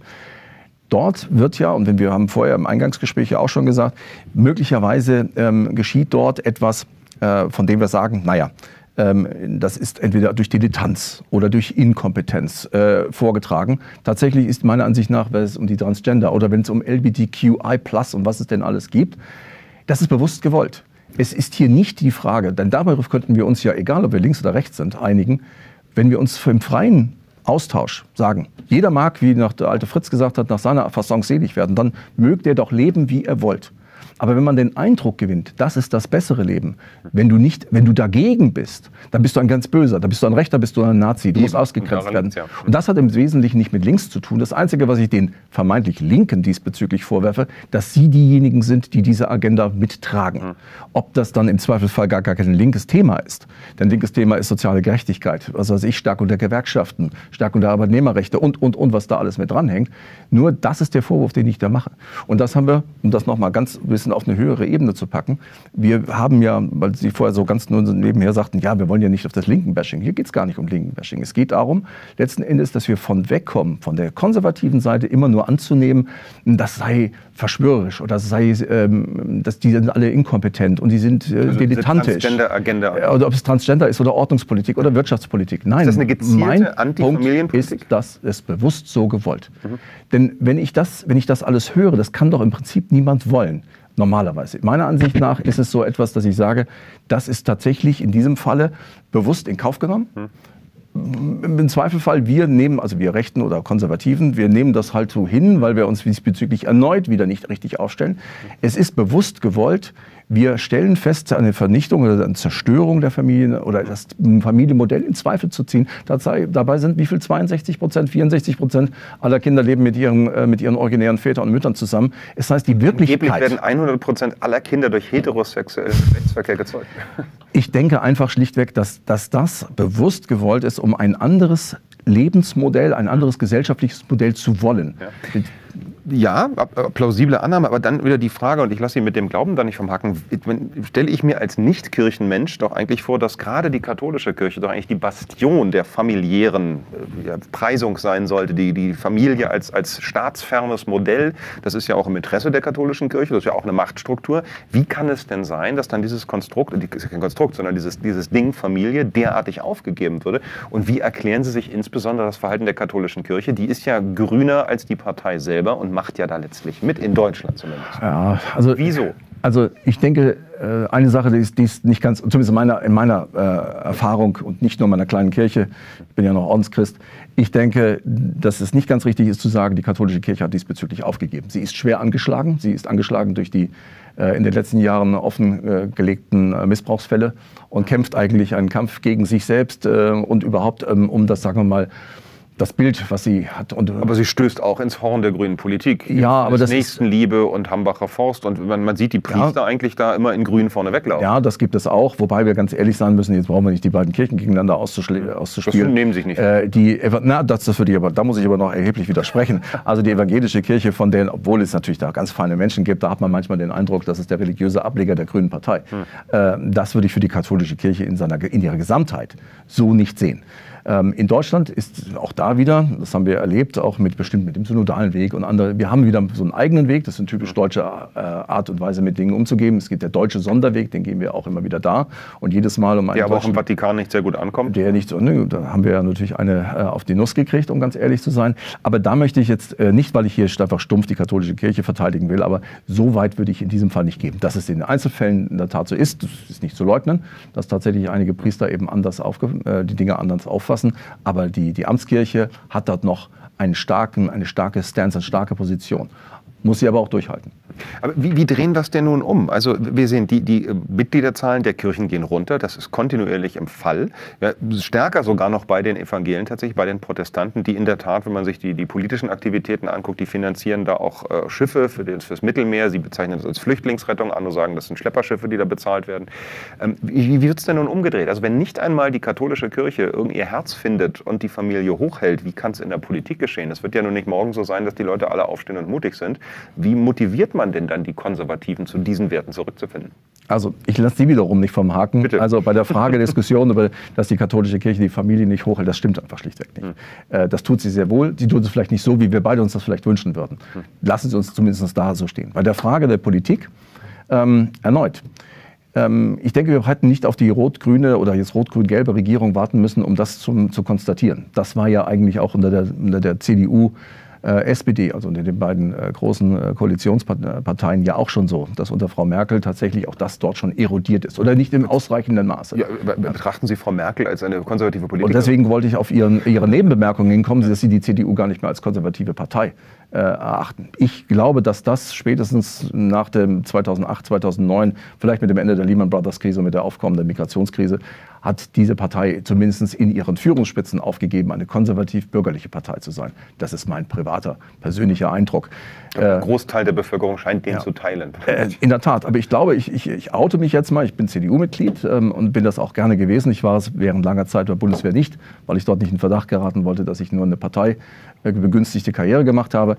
Aber für mich war Friedrich Merz mein Vorsitzender der Herzen, ähm, den ich wirklich als einen, und das sah ich lange Zeit noch so, als eine wirkliche Ikone des Konservativismus sah und insbesondere mit der, mit der Entscheidung, Dankeschön, Carsten Linnemann zu seinem Generalsekretär zu machen, dachte ich, jetzt, jetzt hat, es war spät, aber jetzt kommt die Kurve. Hm. Aber trotzdem ist er, ähnlich wie in anderen Bereichen, äh, sind die alle so eingefangen, dass er tatsächlich kaum in der Lage ist, sich diesbezüglich zu bewegen. Hm. Ähm, Jetzt bin ich weit davon entfernt, denn wir reden ja hier um ein Thema auch drumherum. Und deswegen möchte ich mich frühzeitig diesbezüglich positionieren bei der Frage der AfD. Hm. Der, Auf, der Aufstieg, äh, Umfrageergebnisse sind keine 39 Prozent. Umfrageergebnisse sind keine Wahlergebnisse. Das wäre, das hätte jetzt auch ein Politiker. Sie ruhig im hätte, Wald, ja. hätte, das hätte ein Politiker sagen können, ja. der ich nicht bin. Aber tatsächlich ähm, muss man warten und abwarten, wie sich das manifestiert. Hm. Die Tatsache, dass eine Ampelregierung offensichtlich im, selbst in den Bürgervoten so schlecht abschneidet und die CDU davon praktisch nicht profitieren kann, muss die CDU doch als bürgerlich-konservative Partei auf den Plan rufen. Betrachten Sie die CDU weiter als bürgerlich-konservativ? Nein, nein das wollte ich. Jetzt haben Sie es mir vorweggenommen. Nein, ich sehe sie Nur eben gefragt. nicht. Ich, so, ich gebe da gerne eine Antwort. Nein, in der Tat sehe ich sie nicht hm. mehr. Und das ist die Frage, und das nehme ich jetzt mal, ohne jetzt Werbung zu machen, jetzt mache ich Werbung, ähm, für die Werteunion. Tatsächlich, wenn ich mir überlege, dass es innerhalb der CDU durchaus starke Kräfte gibt, wichtige Personen, die sagen, mit den Leuten, Jetzt unabhängig davon, ob man sich irgendwelche Leute mit, äh, mit Hans-Georg Maaßen überworfen haben. Aber mit den Leuten, diesen sogenannten Konservativen, mhm. und wir reden hier nicht von Extremen und Radikalen, also die mag es überall geben. Aber Warum grenzen Sie sich ständig gegen die ab? Es hat Ihnen jemand unterstellt, dass Sie das ist. Das ist wieder dieser Rechtreflex, oder? Was? Also, gegen dass man sich immer betont, man ist nicht radikal. Also ich würde jetzt von einem Nein. linken Politiker würde ich jetzt nicht äh, erwarten, dass der plötzlich sagt, ich bin übrigens kein Linksradikaler. Aber der Rechte scheint ja immer das Bedürfnis zu haben, zu erklären, er ist zwar rechts, aber kein Na, also Radikaler. Ich habe die Reaktion erlebt, ähm, als Hans Hans-Georg Maaßen über die Linksradikalen in der SPD gesprochen hat. Und das ist ihm dann wirklich nicht gut bekommen. Also ganz offensichtlich. Aber die gibt es, das sind Antifa-Unterstützer. Ja, klar gibt es die. Nancy Faeser zum Beispiel, die schreibt ja, in der Antifa-Zeitung. Ich wollte, ich wollte nur darauf hinaus, dass es tatsächlich bei der Frage, ähm, um die Diskussion äh, oder sagen wir die Frage zu beantworten, ist die CDU eine bürgerlich-konservative Partei noch? Wenn sie tatsächlich ihre bürgerlich-konservativen Wähler, teilweise auch Mitglieder, nicht als Vorfeldorganisation oder Teilorganisation äh, haben will, hingegen sie aber eine Klimaunion mit etwas seltsamen Herrschaften, die da auch unterwegs sind, durchaus akzeptiert, dann sieht man, in welche Richtung sie sich bewegt hat. Und wenn Sie den äh, Ministerpräsidenten Nieder äh, von Nordrhein-Westfalen sieht, der vor vielen Jahren noch ein Buch bzw. einen interessanten Artikel geschrieben hat über modernen Konservativismus, der ausgezeichnet war, heute den Eindruck vermittelt, also die CDU war noch nie konservativ, hm, dann denke ich einfach, dass die CDU die nächste Brandmauer eingezogen hat. Und dieses dauernde Einziehen von Brandmauern bewegt sie weiter nach links. Was uns dazu führt, was kommt jetzt? Wo sind die Nicht-Repräsentierten? Wo ist die Repräsentationslücke zu schließen? Naja, die, die Umfrageergebnisse, die noch keine Wahlergebnisse sind, wie Sie selber gesagt haben, zeigen nun seit einigen Wochen sehr, sehr deutlich auf die AfD. Ich habe gerade schon gesagt, Sachsen aktuell 39 Prozent. Prognose. Brandenburg sieht ähnlich aus. In Thüringen warten wir es ab. Da will HG Maaßen aus, ihrer Werteunion haben. Und zufälligerweise, Zufall, Zufall, hat die Werteunion gerade beschlossen, eine CDU-Mitgliedschaft ist nicht mehr Pflicht für eine Werteunionsmitgliedschaft. Das heißt, öffnet sich die Werteunion jetzt zur AfD? Sie sind nicht ganz richtig informiert. In der Tat ist es so, äh, man muss nicht CDU-Mitglied sein, um in der Werteunion zu sein. Mhm. Das war aber eine ganze Zeit schon so. Mhm. Äh, da ging es um, um, Kleinigkeiten, äh, nochmal die Frage, wer kann in einen Vorstand gewählt werden oder wer kann nicht in den Vorstand gewählt werden, welche Aufgaben, bla bla bla. Ähm, das ging in der, in der Tat jetzt auch schon. Die Werteunion ist aber möglicherweise, wird gefragt werden, genauso wie andere kleinere konservativ-liberale Kräfte, wie Bündnis Deutschland und die Basis und die Familienpartei und, und, und das ist eine Zersplitterung der klassisch konservativen Liberalen. Wenn wir jetzt beide uns einig sind und möglicherweise viele der Zuschauer, dass tatsächlich die CDU-CSU tatsächlich keine klassisch konservativ-bürgerliche Partei mehr ist, Das hatte ich ja in Wetzlar gesagt, vielleicht ist da ein Webfehler drin, äh, nach dem Motto, dahin zu streben, wo die Fleischtöpfe sind. Und eine Repräsentationslücke zwischen den, ich sag mal, arithmetisch linken, äh, rechten CDU-Lern und den linken AfD-Lern. Das ist dann die Möglichkeit eine, für eine neue politische Kraft. Ich rede jetzt keine Partei das Wort, weil dieser weiße Elefant steht natürlich jetzt, wenn ich das gesagt habe, im Raum. Letzten Endes werden wir irgendwann die Frage uns stellen müssen, wenn ich nicht AfD-Mitglied sein will oder nicht AfD wählen will, ich möchte eine klassisch konservative, sagen vielleicht eine CDU der 90er und noch der Nullerjahre haben, dann habe ich das nicht mehr und dann muss ich das anbieten. Und wenn wir das anbieten, ist das vielleicht die Möglichkeit, tatsächlich sich neu parlamentarisch aufzustellen. Denn ganz ehrlich, nur parlamentarische Repräsentanz schafft Relevanz. Alles andere ist wurscht. Das muss aber eine neue Partei sein. Das kann nicht die AfD sein, wie sie gerade ist, oder eine wie auch immer veränderte AfD. Sie sagen, das müsste eine neue, ein neues Gebilde sein, weil mit dieser AfD nicht, oder wie ist das zu verstehen? Also ich denke einfach schlichtweg, wir brauchen keine zweite AfD, wir brauchen eine neue CDU. Hm. Und entweder? Und entweder, naja, Sie werden doch wohl behaupten wollen, dass es einen Unterschied zwischen CDU und AfD gibt. Aktuell schon, aber Ja. wir reden ja von einer neuen CDU. Was ist denn eine Ich denke einfach schlichtweg, dass die CDU, CSU, die aber auch immer zutiefst meine politische Heimat war und auch ja, gefühlsmäßig natürlich immer ist, weil ich in einem vielleicht naiven Glauben lebe, äh, dass wir doch noch ein bisschen was bewegen können. Und selbst ich in meinem Ortsverband, ich dann immer versuche, jeden davon zu überzeugen, dass wir nicht noch ein grünes Thema unterstützen, sondern uns an den konservativen Werten orientieren. Da sitzen eine ganze Menge Landwirte und andere, die natürlich nichts sagen. Das kommen wir wieder zu dem, was wir ganz am Anfang gesagt haben, weil die den Mund nicht aufmachen und vorne die Jungen reden lassen, die immer nur von grünen Projekten sprechen. Wenn wir der Auffassung sind, und ich denke, es ist fast vorbei, dass die CDU tatsächlich sich nicht ihrer alten Wurzeln erinnert. Fast. Sie haben noch Hoffnung, dass das passieren kann. Ich habe noch so ein bisschen Hoffnung, aber natürlich weiß ich, dass ich es nicht wirklich habe. Aber ich Okay. versuche zumindest das hochzuhalten. Wenn wir das nicht schaffen oder sie sich zumindest öffnet, dann wird es eine, eine irgendeine andere Form von, von parlamentarischer Kraft geben müssen, um, um die Menschen, die tatsächlich konservativ-liberale Ordnungspolitik, Wirtschaftspolitik, eine sinnvolle Justizpolitik, eine sinnvolle äh, Gesundheitspolitik und, und, und, und, und haben wollen. Das geht nur mit einer neuen Kraft. Hinter den Kulissen, das weiß man schon lang, da möchte ich Sie jetzt auch gar nicht über Ihre Tätigkeiten hinter den Kulissen äh, interviewen, aber hinter den Kulissen laufen da lange Gespräche, das ist seit, seit einiger Zeit der Fall und nun taucht ja auch diese Wagenknecht-Partei auf. Das ist offiziell äh, zu Wasser gelassen kann man noch nicht sagen, aber es wird zumindest angekündigt. Es soll sie dann also geben und es gibt natürlich Gespräche über die berühmte Querfront, was da für Möglichkeiten der Kooperation sind. Wie beurteilen Sie das? Auch viele linke Beobachter sind begeistert, sagen, egal was da kommt, das ist ja ein- eine Chance gewissermaßen. Gibt es da gemeinsamen Boden mit diesen Linken, diesen Reformierten und einem möglichen neuen rechten Projekt? Also zunächst einmal bei Frau Wagenknecht, die eine, weiß Gott, hochintelligente, mit einer der begabtesten Politikerin ist, die wir haben. Ähm, Und ich sage das in diesem Fall über eine Linke und ich bin überzeugt davon, dass Frau Wagenknecht von sich behauptet, sie ist eine Linke. Ähm, Ich denke, in jedem Anfang liegt ein Zauber inne. Das wird sicherlich ähm, für eine mögliche Partei, die sie gründet, wie immer sie denn aussieht und wie sie immer sie denn auch heißen mag, der Fall sein. Das wird das linke Lager nochmal spalten. Ähm, Da lässt, na, sagen wir mal, frühere Zeiten lassen da grüßen. Aber auf die Querfront, also dieses klassische Thema des Hufeisens, also die ganz Linken und die ganz Rechten mögen sich da in irgendeiner Form vereinigen. Ist ja immer der Vorwurf auch in viele AfDler, insbesondere im Osten gewesen, dass wir viele ehemalige SEDler, PDS-Linke dann in die AfD gegangen sind. Ähm, ja, mag, mag sein. Sie haben mich eingeladen. Ich sage für mich, schließe das aus. Ähm, genauso wie ich ähm, unterstützt habe, den Antrag äh, bei der Werteunion eine zukünftige äh, Kooperation und, und äh, Allianz mit Grünen, der, wie auch in einer immer gearteten Zukunft auszuschließen, schließe ich das für mich mit Linken aus. Okay, kategorisch, aber meinen Sie nicht, dass es da gewisse Gemeinsamkeiten gibt? Also wenn man schaut, es gibt ja ein gemeinsames demokratisches Interesse von demokratischen Kräften. Sie haben das vorhin schon gesagt, an einer ja, zumindest wertschätzenden Diskussionskultur, dass man sich nicht anbrüllt und den Inhalt erstmal vortragen lässt. Naja, das ist ja im Parlament nicht mehr gegeben. Wenn die AfD da spricht als einzig aktive Oppositionspartei, dann sind die anderen demonstrativ entweder nicht da, brüllen die nieder, unterstellen ihnen irgendetwas. Und da könnte man ja eine andere Kultur pflegen. Das wäre ja schon eine Form von kollegialem Umgang, Also, auch wenn es die Gegenseite ist. Wenn Sie, wenn Sie das meinen, Ja. das, ja gut, okay, das meinen. Ich hatte jetzt aber äh, Sie so verstanden, dass es um politische Zusammenarbeit geht.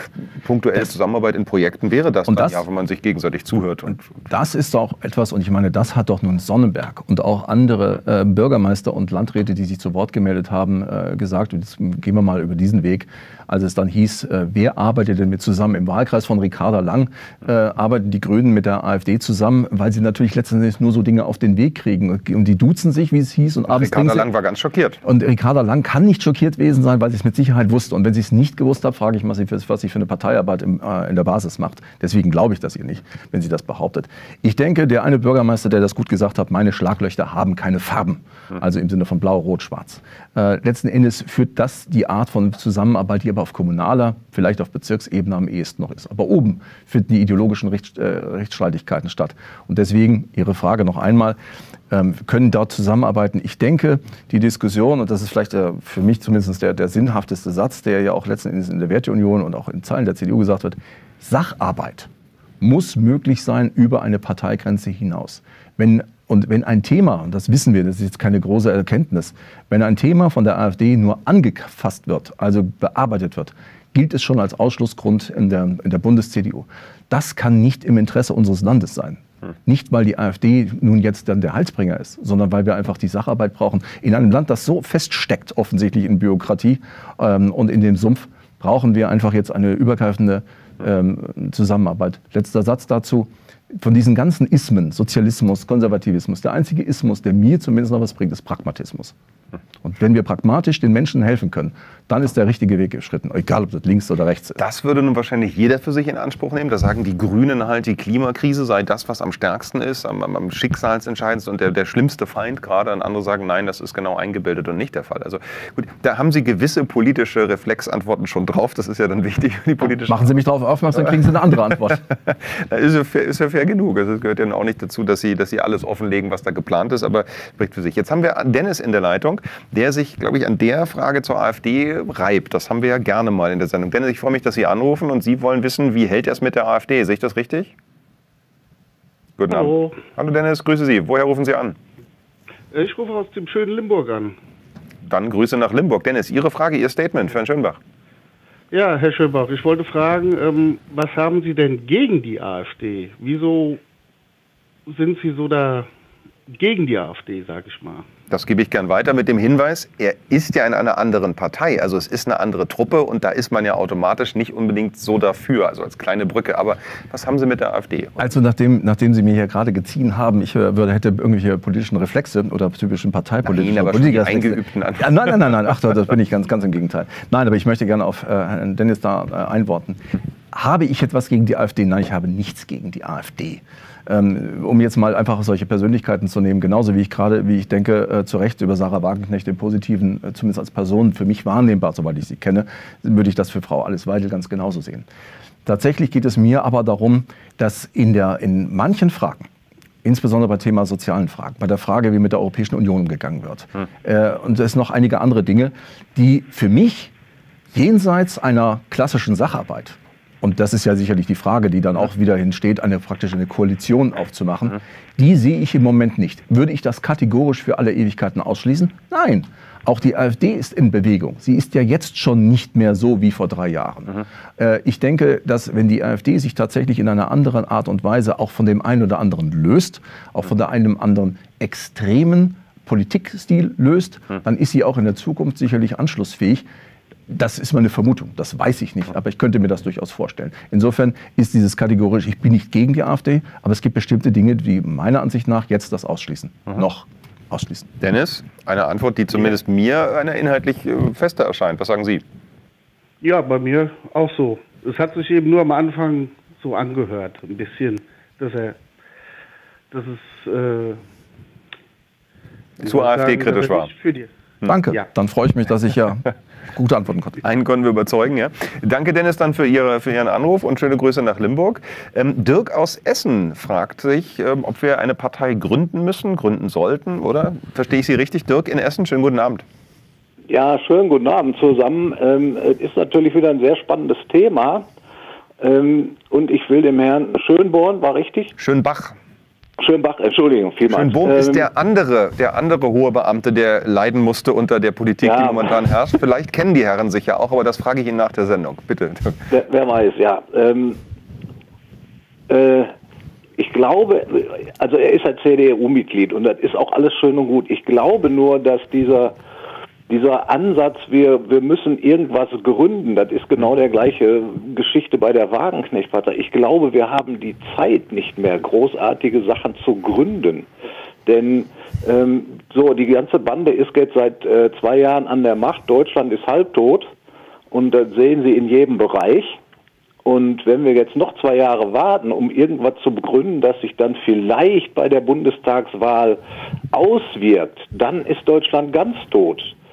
Denn ähm, ich glaube, dass immer mehr Leute wirklich mit dem Gedanken spielen, also die, die das machen können, die jung sind, die, die clever sind, die sich wirklich vom Acker machen, verständlicherweise. Wenn ich nicht alt und so wäre, würde ich das auch noch machen. Aber ich habe da einmal die Befürchtung, dass die Regierung irgendwann auf die Idee kommt, ähm, keine Renten mehr ins Ausland zu bezahlen. Weil die Gassen sind ja eh leer. Ich wollte gerade sagen, und, die zahlen eh ähm, keine Renten mehr, seien Sie völlig unbesorgt. ja, ja. Äh, und ich, ich muss da jetzt einfach mal klar sagen, ich glaube, es hm. führt an der AfD oder sich Organisationen wie die Werteunion und und und, ähm, die, die müssen sich einfach zusammenschließen. Weil die Zeit ist zu kurz. Gut, hören wir Herrn, Herrn Schimbach dazu. Aber er hat ja, ja, nur zur Verteidigung, er hat ja auch vorhin klar gesagt, es gibt ja keine Notwendigkeit, sondern sie kann sich ja auch ändern. Also das der Fairness halber war es ja kein kategorischer Ausschluss. Aber Dirk aus Essen sagt, Schluss mit der ganzen Neugründerei, wir müssen mit dem arbeiten, was wir haben. Also rauft euch irgendwie zusammen, um es mal platt zusammenzufassen. Genau, so. Ist auch, so habe ich es auch verstanden. Hm? Ähm, ja. Ich bleibe trotzdem dabei. Ich bleibe trotzdem dabei, ähm, wenn wir uns einig sind, wenn ich mich noch mal selber zitieren darf, wenn wir uns einig sind, dass wir die CDU oder die Union nicht mehr so hinbiegen würden, wie wir uns Konservativliberale das vorstellen. Es ist nicht anzunehmen, auch nicht in diesen zwei Jahren, wie der Herr gerade eben sagt. Wenn wir auf der anderen Seite eine AfD haben, von der ich im Moment glaube, und das würde ich dann auch an dem Vorredner äh, nochmal anknüpfen, sage, im Moment ist das dort nicht möglich. Man kann ja trotzdem AfD wählen. Das ist ja nun jedem überlassen, wie er es macht. Aber ich denke, dass wenn wir, und Sie haben recht, da können wir jetzt nicht zwei Jahre mit warten. Das nützt nichts, drei Wochen vorher, mal abgesehen von den Formalien. Wir müssen uns jetzt schnell entscheiden. Wir müssen uns meiner Ansicht nach, wenn wir das machen wollen, das sind ja bei der Werteunion und bei den vorher genannten anderen Parteien oder Organisationen, sind es ja Mitgliederentscheidungen. Zu sagen, wir wollen, nächstes Jahr sind drei Landtagswahlen, dann haben wir in 25 24, 25 haben wir die Bundestagswahl, müssen wir sagen, wollen wir bis dahin eine formierte, eine neue formierte Partei haben, die tatsächlich diese Repräsentationslücke, von der ich vorher sprach, können wir viele Konservative in der CDU abwerben, sie in eine neue konservativ-liberale Partei holen und von der AfD ebenfalls die Frustrierten, die seinerzeit die CDU verlassen haben, auch gedanklich, auch in ihrem wahltaktischen Verhalten und von der AfD wegholen. Ist das möglich? Ja, ist das notwendig? Ich sage ja. Hm. Mich einfach nur, und das ist jetzt meine persönliche Meinung, ich kann das natürlich keinem konservativ-liberalen raten, in der AfD, wie sie sich jetzt darstellt, wie sie aktuell noch verfasst ist, sich ausschließlich nur der AfD zu vertrauen nur weil sie hohe Wahlergebnisse hat, äh, Umfrageergebnisse hat. Ich denke, die Repräsentationslücke ist zu schließen und sie ist natürlich zügig zu schließen. Wenn wir das nicht wollen, sind wir raus aus dem Spiel. Was ist denn, um mal konkret zu sein, Dirk, ich hoffe, ich spreche da in, in, in Ihrem Sinne, korrigieren Sie mich, was ist denn an der AfD konkret ein Problem, dass Sie sagen, so geht das nicht? Wir hatten gerade die Diskussion, da geht es jetzt um den Tag der Niederlage, Tag der Befreiung. Das ist vielleicht ein Stichwort, an dem man was festmachen kann. Frau Weidel hat gesagt, sie feiert das nicht, weil das für sie ein Tag der Niederlage Deutschlands gegen die Alliierten war. Viele andere andere haben gesagt, ich schließe mich da an, es ist in erster Linie auch ein Tag der Befreiung. Dass das eine Dualität bleibt, ist eine andere Frage. Ist das etwas, wo Sie, wo Sie die Grenze festmachen? Geht es da um nationale Fragen oder was ist es mit der AfD? Also das, ist, das wäre jetzt zu wenig. Also wenn es jetzt wirklich nur dieser eine Fall wäre, dann, dann, dann bräuchte ich hier nicht zu sitzen, dann könnte ich, mir, könnte ich mich unter dem Tisch verstecken. Nein, es ist das ist auch ein Thema, ähm, aber es geht, darum geht es nicht. Es ging das, was ich vorher, äh, als ich gefragt wurde, wie ich mich dann äh, zur AfD stelle. Und das ist ja zunächst einmal nur meine persönliche Auffassung. Ich spreche noch relativ vielen, auch innerhalb der Werteunion und der CDU, aber auch interessanterweise Leute, die übrigens aus dem vermeintlich, wir sprachen vorher über den linken Lager, die ja durchaus ähm, liebäugeln mit der Werteunion. Für mich ist die AfD, und das wäre meine Empfehlung an eine Werteunion oder wer immer sich denn da begründen sollte als eine neue Partei, in der Sacharbeit zusammenzuarbeiten. Ich, ich will der Frage nicht ausweichen. Ich kann jetzt nicht jedes einzelne Dings auffahren, sonst machen wir hier zwei Stunden noch. Aber ich denke, dass wir im, im sozialen Bereich, in der Frage, wie wir ähm, ähm, innerhalb uns Europas verorten, also auch mit EU, den Streitkräften, raus aus der EU, ja oder nein? Rein und raus, das ist, das ist das ist Unsinn. Hm. Nun haben, ist man ja auch zurückgezogen. Und der Parteitag hat das ja eindeutig gezeigt, dass da offensichtlich dieser Weg war der falsche. Offensichtlich haben da starke Kräfte dann dagegen gewirkt, dass man eben nur sagt, okay, es ist ein Europa der Vaterländer oder andere. Die Frage, wie wir mit der NATO umgehen und die Frage, wie wir mit einigen Ländern umgehen, das ist für mich einfach noch ein Punkt, der meiner Ansicht nach zur jetzigen aktuellen Verfasstheit der AfD nicht geeignet ist, um mit einer liberal-konservativen Partei in eine Koalition zu gehen, in einer Sacharbeit zusammenzuarbeiten. Das sage ich ja jetzt auch schon über die CDU, die das aber ja nur deswegen ablehnt, weil etwas die AfD macht. Wenn ich überlege, dass es im Verteidigungsausschuss und anderen Ortens Untersuchungsausschüsse nicht durchgegangen sind, weil die AfD den mehr oder weniger gleichlautenden Antrag gestellt haben und dann wird er nachher angenommen, das ist diese, diese unsinnige Art des Zusammenarbeitens. Hm. Also ich erlaube mir zu übersetzen, wenig überraschend werden Sie als alter NATO-Offizier für einen Verbleib in yes, der NATO sein. Sicher. Alles andere wäre jetzt etwas überraschend. Und die NATO-Kritik, die aus der AfD kommt, die geht Ihnen da zu weit. So verstehe ich Absolut. das richtig. Bei der Gelegenheit, wie halten Sie es mit der WHO?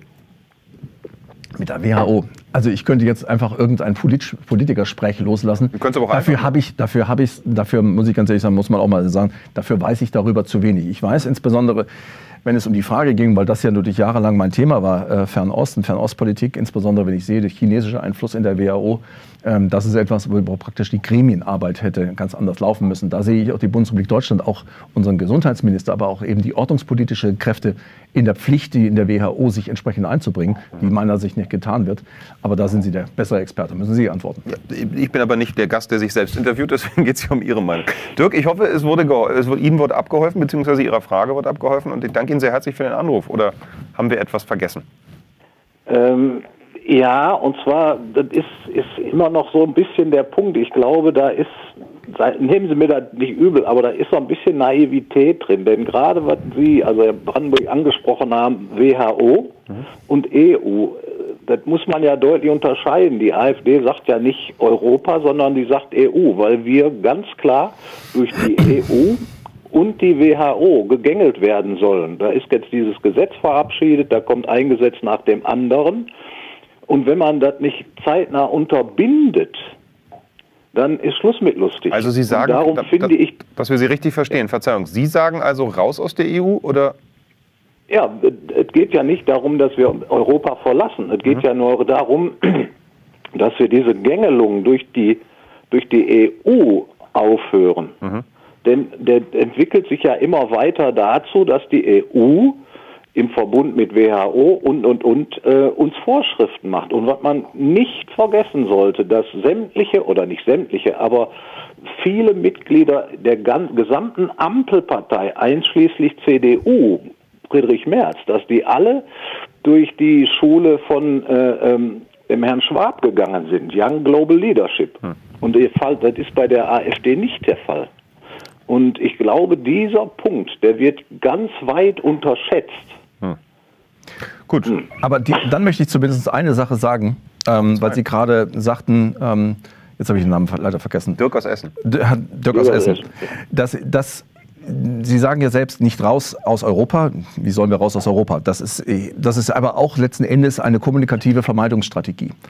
Wir müssten, also die AfD, und das tut sie ja dann auch, sagen offen, wir gehen raus aus der Europäischen Union. Mhm. Wenn wir rausgehen aus der Europäischen Union, dann wissen wir alle drei, plus all diejenigen, die hier sitzen, wenn wir einigermaßen Vernunft walten lassen, dass das für uns ein Debakel ist. Wir haben dann zwar an einer Front vielleicht möglicherweise, weil Sie jetzt gerade auf die WHO abheben, an dieser Front vielleicht möglicherweise etwas weniger Stress. Dafür haben wir an anderen, an anderen Dingen Stress. Und ich denke tatsächlich auch aus, und das, ich weiß, ich, ich, das ist performativer Widerspruch. Ich widerspreche mir jetzt selbst, wenn ich sage, ich immer immer höre, wenn einer sagt, den einleitenden Satz, ja, wir sollten vor dem Hintergrund unserer Geschichte, das sollten wir nicht sagen, aber in der Tat, vor dem Hintergrund unserer Geschichte ist ein Herausgehen, also ein Jacksit, ein mhm. Deutschland-Exit aus der Europäischen Union ein falscher Weg. Mhm. Das wäre ein erneuter deutscher Sonderweg, das sollten wir nicht machen. Nennen Sie es naiv, kann ich gut mitleben. Wir müssen alles dafür tun, dass wir unsere starke Position, die wir finanziell, die wir wirtschaftlich, die wir ordnungspolitisch haben, die wir auch in gewisser Weise historisch haben, wie wir miteinander umgegangen sind, das müssen wir in die Waagschale werfen, um die Europäische Union zu verändern. Aber natürlich nicht mit dieser Ampelkoalition, sondern mit konservativ-liberalen Kräften, die die alte EU wieder auferstehen lassen. Gut, Dirk, man kann sich auch einigen, dass man sich nicht einigt. Das ist legal. Der eine darf sagen, wir müssen die EU reformieren, der andere darf sagen, wir müssen raus. Wenn hier eine, eine dritte Stimme gebraucht wird. Ich hätte eine klare Meinung dazu, aber die zählt jetzt nicht. Äh, Zumindest, denke ich, kann man nachvollziehen, was Herr Schimbach dazu meint. Oder? Da müssen wir uns drauf einigen. Ja, ja, na klar. Alles klar. Wie gesagt, ähm, wir können ja vernünftig miteinander reden. Ja, wir versuchen Genau. es zumindest. Haben Sie herzlichen Dank für den Anruf. Der nächste klar, Anruf. ich danke Ihnen. Ich danke Ihnen. Der nächste Anruf ist richtig, stößt ins gleiche Hirn, äh, Hirn sage ich schon, er stößt auch in die gleichen Hirne, so ist das wohl hier. Er stößt vielleicht auch ins gleiche Horn, eventuell. Mirko aus Bayern ruft an und ich nehme mal an, auch auf der Seite pro AfD. Schönen guten Abend, Mirko. Ja, hallo, servus, grüßt euch miteinander. Ja, was heißt äh, pro AfD? Ich meine, jede Partei hat seine Stärken, jede Partei hat seine Schwächen. Aber eins, jeder, der sich vielleicht mal sich die Mühe macht, mal den Bundestagdebatten anzu anzuschauen, was ist in Deutschland aktuell die wirkliche wahre Opposition? Wo ist die CDU? Wo ist die CDU? Jetzt die Frage auch an Ihren Gesprächspartnern. Wo ist die CDU in der Opposition? Hat er. Ja, es ist die einzigste Partei, ist aktuell die AfD. Und das, egal was auch hinten rauskommt, ja, wird, muss, es muss eine Veränderung geben. Wir wissen das alle. Wir fahren mit Volldampf gegen die Wand und wir schauen alle zu und machen Brandmauern hoch und was weiß ich nicht alles, aber es verändert nicht, nichts an der Geschichte. Ja. Ihr Gesprächspartner ist er jetzt auch, nicht nur meiner. Wir reden ja hier zu dritt. Also Herr Schönbach, Also, veritabler Er Einwand, hat, ja? nein, es ist kein Einwand, er hat recht. Mhm.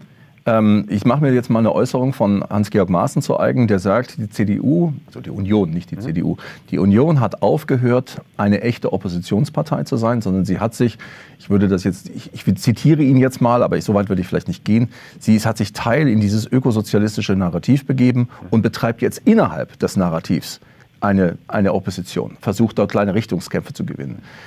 Äh, Insofern gebe ich, äh, gebe ich den Herrn aus Bayern recht. Ähm, Ich habe dann selbst lange Zeit in Bayern gewohnt. Super, super Land. Also von Sie daher ist das Bayer, ein- oder? Ja, ich bin nicht Bayer, ich bin Hesse. Aber ich habe in Bayern, bin ich zur Schule gegangen, habe ich Abitur gemacht. Meine Frau kennengelernt. Nein, der entscheidende Punkt ist, dass in der Tat diese Art von Opposition, wie wir Opposition wahrnehmen, auch in der Vergangenheit wahrgenommen haben, diese alten großen Diskussionen und Debattenkultur, die wir in den 70ern und 80ern hatten, das gibt es natürlich in der Tat nicht mehr. Mein Punkt, und das ist, glaube ich, da kommen wir auch uns beide entgegen, äh, oder sehen wir es gleich, ich erwarte von einer Union, meiner Union, erwarte ich, dass das Narrativ, das wir heute haben, überhaupt angegriffen wird.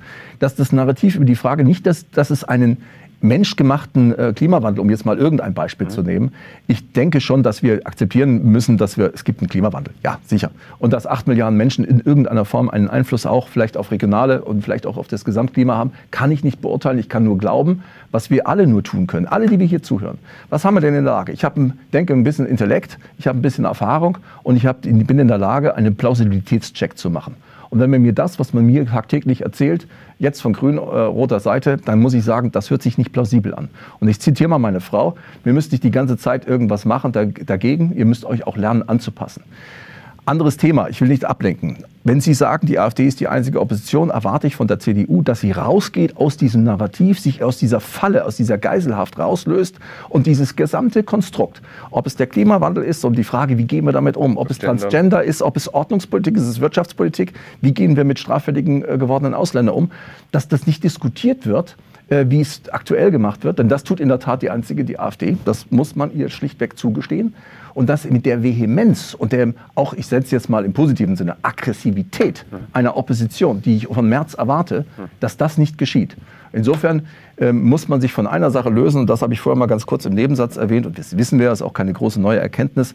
Jedes Mal, wenn irgendein Thema von der AfD, und das ist das eigentlich Schade an der ganzen Geschichte, aufgegriffen wird, scheint sich die CDU in eine Situation, sich selbst, eine selbstverschuldete Unmündigkeit zu geben. Offensichtlich braucht die CDU manchmal selbst noch mal eine Aufklärung. Und ich kenne dort so viele auch gute Abgeordnete, das sind tolle Leute, Männer wie Frauen, die sich aber offensichtlich nicht trauen, da rauszugehen, weil sie immer den Vorwurf von der linken Seite bekommen, auch von dieser Presse. Ihr macht euch mit den Rechten gemein, ihr bedient das rechte Klientel. Deswegen ganz am Anfang unserer ersten Satz, wir müssen aufhören, uns diese Definitionshoheit, was wir tun und lassen dürfen, uns nicht von den Linken oder von den Autoritären sagen zu lassen, sondern selber entscheiden. Ich muss nicht, ich brauche keine Ricarda Lang, um zu wissen, wie ich zu leben habe. Ich brauche keine Annalena Baerbock. Äh, wie ich zu, aufzustehen habe, wie ich meine individuelle Mobilität zu machen, das kann ich schon selber beurteilen. Das ist das, was ich mit bürgerlich. Ich wollte mit meiner Eingangsfrage sogar weitergehen. Vielleicht wäre es ja ein, ein Weg zu sagen, ich bin rechts. Ja, ist Das es ist ja gut so. Wir haben da vorher schon diskutiert. Das ist ja gar kein Problem. Dann bin ich eben rechts. Ähm, Das ist auch nichts Schlimmes. Das wollte ich damit andeuten. Der Meinung bin ich ja auch, dass das demokratisch zulässig ist. Aber ja, er hat mich gesagt, danke. Ich hoffe, das hat Ihre Frage ein wenig beantwortet. Und äh, es bleibt das Problem, der Herr ist nun mal Mitglied der CDU. Und solange er in dem Verein spielt, nehme ich mal an, muss er da ein bisschen Hoffnung noch haben, dass es mit der CDU auch weitergeht. Wunderbar. Können wir uns darauf einigen? Haben Sie herzlichen Dank. Ebenfalls aus Bayern ruft, ich wünsche was ins schöne Bayern, das ist ja recht groß, also zumindest Bayern, das Bundesland ist recht groß. Ähm, jetzt ruft Jens an, auch aus Bayern und ähm, da, glaube ich, ist die Kritik etwas weitgehender, was Parteien angeht, beschränkt sich nicht auf die CDU. Sehe ich das richtig, Jens? Schönen guten Abend. Hi, servus. Könnt ihr mich hören? Ja, bestens sogar. Na, sehr gut. Nun, äh, weißt du, also, ich hoffe, ich darf du sagen, Paul, ähm, im Kontext zu deinen öffentlichen Mitteilungen, warum spricht ihr nicht auch darüber, dass die Parteienkartelle vollkommen korrupt sind? Und das eigentliche Problem darin besteht, dass die verbeamteten Diensträger, Soldaten, Juristen, Parlamentarier nicht das tun, was von Gesetzes wegen ihre Pflicht wäre, nämlich Recht und Gesetz durchzusetzen. Die Frage ist ob Parteien, AfD und Co. uns überhaupt weiterhelfen können, oder ob die Amtsträger nicht das tun sollten, was ihre Pflicht in einer solchen Situation ist, wie wir sie jetzt haben. Beispiel Grundgesetz 20 Absatz 4. Das ist meine Frage. Also das ist das Widerstandsrecht für diejenigen, die das jetzt noch nicht so, denen das nicht so geläufig ist. Sie sagten gerade, um da vielleicht eine, eine Annäherung zu finden, Sie sagten gerade selber, die CDU ist an den Fleischtöpfen und will da nicht weg. Das äh, wäre ja das, die Erklärung für das, was, was äh, Jens gerade auch sagte. Also ist es noch, ist es, liegt es vielleicht nicht mehr reformierbar, so korrupt wie es schon ist, das Parteiensystem? Muss da die Lösung vielleicht irgendwo von außerhalb leben? Sie sagten vorhin schon, ja, außerparlamentarische Opposition, die Macht liegt in der, in der, im Parlamentarismus natürlich, aber ist das überhaupt noch machbar? Ist da was zu retten? Also ähm, den Herrn aus Bayern und möglicherweise isoliere ich mich jetzt nicht nur hier in diesem Gespräch und insgesamt. Lasst uns aufhören mit diesem dramatisierenden Gespräch, äh, Vokabular. Korrupt. Ich weiß natürlich, was gemeint ist. Ähm, Korruption ist natürlich auch, gibt es eine linke und eine rechte Grenze. Ähm, ich weiß, was gemeint ist, aber ich würde mich persönlich weit davon sehen, das Parlament ist korrupt oder die Parteien sind korrupt. Wenn man Korruption damit meint, und das war ja diese Geschichte mhm. mit den Fleischtöpfen, eine Partei muss ein großes Interesse daran haben, Macht auszuüben. Macht ist übrigens nichts Negatives, Macht ist puristisch, Macht ist sauber. Und wer Macht hat, hat, wie ich eingangs sagte, auch Verantwortung. Das heißt, wenn die CDU, CSU, in welcher Konstellation auch immer, dann versuchen kann und hat, Macht auszuüben, dann muss sie das natürlich selbstverständlich tun. Mhm. Und wenn sich Jan Müntefering immer erzählt hat, der gesagt hat, Opposition ist Mist. Mhm. das, das kann man ja den Parteien nicht zum Vorwurf machen. Ähm, und übrigens, diese Parteien sind nicht deswegen so, ähm, weil dorthin gekommen, weil sie sich das irgendwie erschlichen haben, sondern weil Wähler sie so gewählt haben. Die Frage ist ja die, und das ist jetzt hier nach 2004, ich meine, das ist jetzt eine besondere, besondere Situation. Ich meine, wir sind jetzt nicht in der Stauffenberg-Situation. Ähm, hier geht es meiner Ansicht nach darum, und da kommen wir auch wieder, wird mir wieder gleich der Vorwurf gemacht der Naivität und das dauert natürlich auch alles ewig. Wenn wir sehen, wer wird denn in Parteien tatsächlich nach oben gespült? Äh, und ich sehe das ja bei mir selbst im, im Ortsverband. Ich denke schlichtweg, dass ähm, die Parteien werden irgendwann einmal, und jetzt wird sicherlich der Nächste anrufen und sagen, ja, die AfD tut das ja bereits, irgendwann tatsächlich so auf den Pott zu setzen, dass tatsächlich sich eine Veränderung äh, einstellt. Wenn sich die Linke jetzt zersplittert, dadurch, dass Frau Wagenknecht das macht, wenn wir uns jetzt tatsächlich mit einer neuen Partei zu Worte melden, dann wird der Druck groß werden. Aber nehmen Sie doch mal, und da braucht man kein gesellschaftspolitischer Wissenschaftler zu sein, wie sind zum Beispiel die CDU, die Christianer, äh, die Demokratia Christiana in Italien, in Spanien, in, in, in Griechenland oder der äh, christlich-demokratische Appell in den Niederlanden mehr oder weniger von der Bildschwelle verschwunden. Genau aus dem Grund, weil sie äh, nicht strategisch gedacht erkannt haben, frühzeitig erkannt haben, dass nach links sich zu bewegen ein Fehler ist. Und das muss doch irgendjemandem mal in dieser CDU, dieser Union auffallen, dass dieses ewig nach links schielen, dass das ein Ende haben muss. Sie muss, und wenn mal behauptet wird, denn die, da wäre ein Rechtsruck, die CDU mit einem Rechtsruck würde sich wieder in die Mitte bewegen. Und diesen Rechtsruck wünsche ich mir meiner eigenen Partei, ähm, dass sie tatsächlich dann auch wieder anschlussfähig ist nach rechts. Ich setze trotzdem nochmal nach im Sinne von Jens aus Bayern. Ich hoffe, ich sehe das richtig. Die Frage, ein bisschen ging die Antwort, glaube ich, an dem vorbei, was da intendiert war.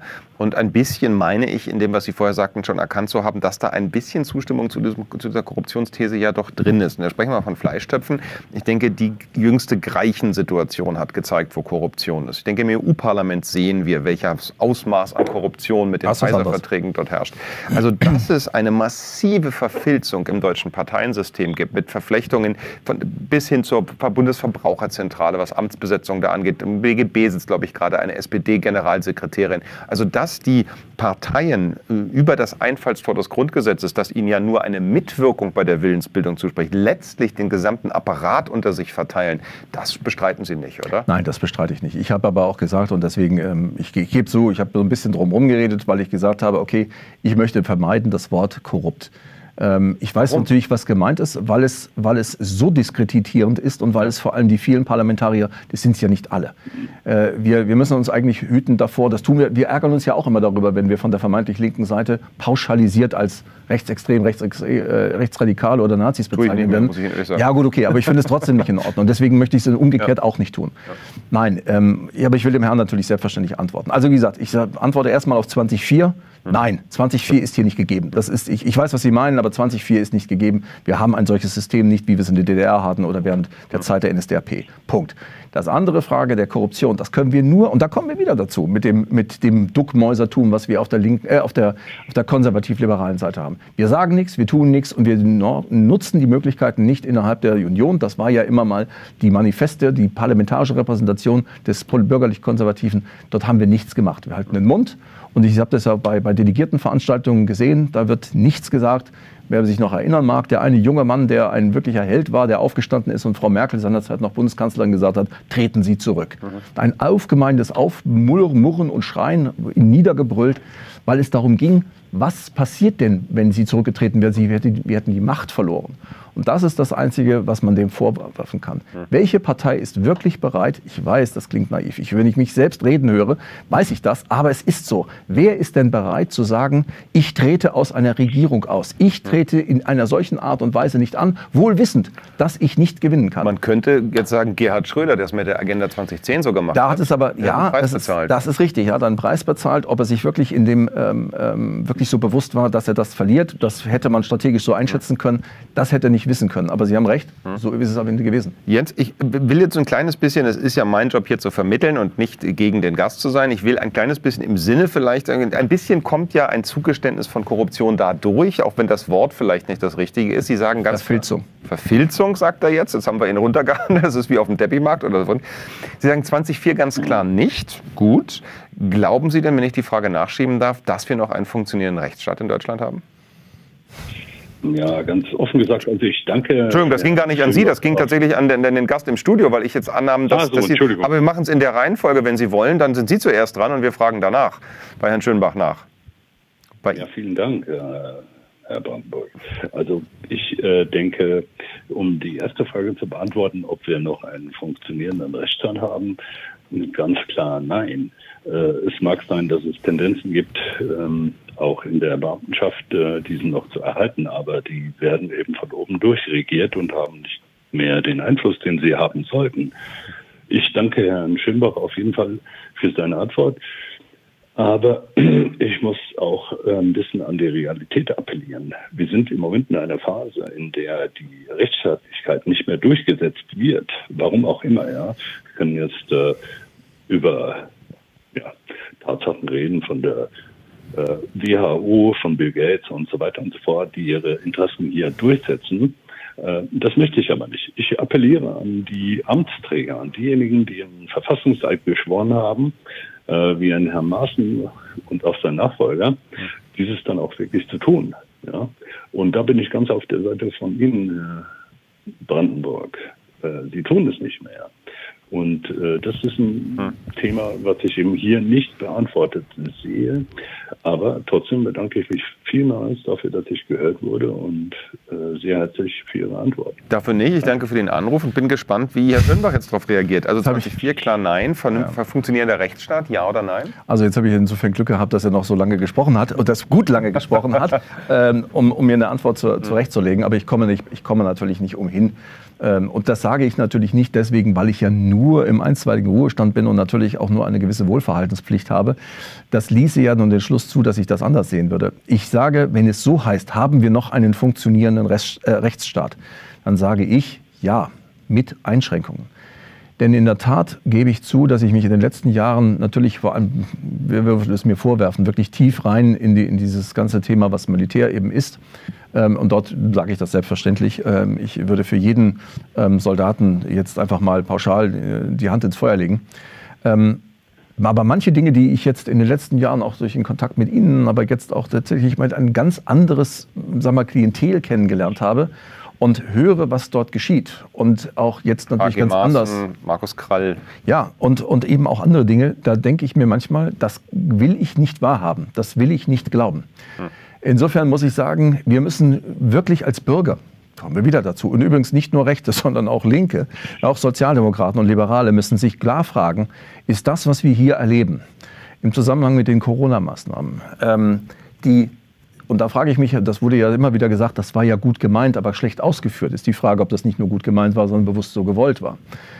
Meine Frage ist, ist die Rechtsstaatlichkeit im wahrsten Sinne des Wortes noch in vollem Umfang gegeben, wenn Dinge passieren, die für jedem Gespür, ohne dass ich Jurist bin, nicht mehr äh, in Einklang zu bringen sind. Und da muss ich sagen, ich glaube immer noch daran, dass wir einen funktionierenden Rechtsstaat haben, aber es gibt gefährliche Tendenzen, es gibt gefährliche, vielleicht sind es nicht nur Einzelfälle, die uns alle wach werden lassen müssen. Übrigens, weil es heute schon ein paar Mal gesagt wurde, Vogue, ich war die ganze Zeit wach. Offensichtlich haben, offensichtlich auf der vermeintlich linken autoritären Seite sind Leute, die ewig lange geschlafen haben, plötzlich wach geworden. Ich brauche von niemandem erweckt zu werden. Tja, Jens, ich glaube, weiter werden wir ihn jetzt nicht bekommen mit seinem Bekenntnis dazu. Und er hat es ja selber auch nochmal angedeutet. Er ist und bleibt ein Admiral und als solcher natürlich gesetzlichen Verpflichtungen. Ich erinnere da auch an H.G. Maaßen und seine vorsichtige Wortwahl. Und trotz einer sehr abgewogenen Wortwahl Herrn Maaßens findet der sich ja momentan in einer Kampagne wieder, die aus meiner Sicht, nachdem was jetzt schon offen ist, gegen alle Prinzipien des Rechtsstaates verstößt. Insofern müssen wir uns vielleicht darauf einigen, dass diese diplomatische Ausdrucksweise ihn jetzt mal, lassen wir ihn damit vom Haken, wenn Sie zustimmen, Jens. Ich stimme auf jeden Fall zu, da ich mit Juristen jeden Tag zu tun habe mhm. Und äh, bedanke mich sehr für das Gespräch. Ich finde Ihre Arbeit toll, Herr Brandenburg. Und, ja, ein besseres Ende. Herr Schönbach, ich habe bisher nicht gekannt, aber auch Ihre Aktivität weiß ich sehr zu schätzen. Ich wünsche Ihnen beiden einen schönen Abend. Vielen Dank. So viel Harmonie, das ist ja ein Zeichen, Schluss zu machen. Es ist 21.30 Uhr, damit ist uns die Zeit auch weggerannt. Ich danke Ihnen sehr herzlich und habe mir tatsächlich aufgeschrieben, ziviler Ungehorsam ist das Prinzip der Demokratie. Das haben Sie gesagt.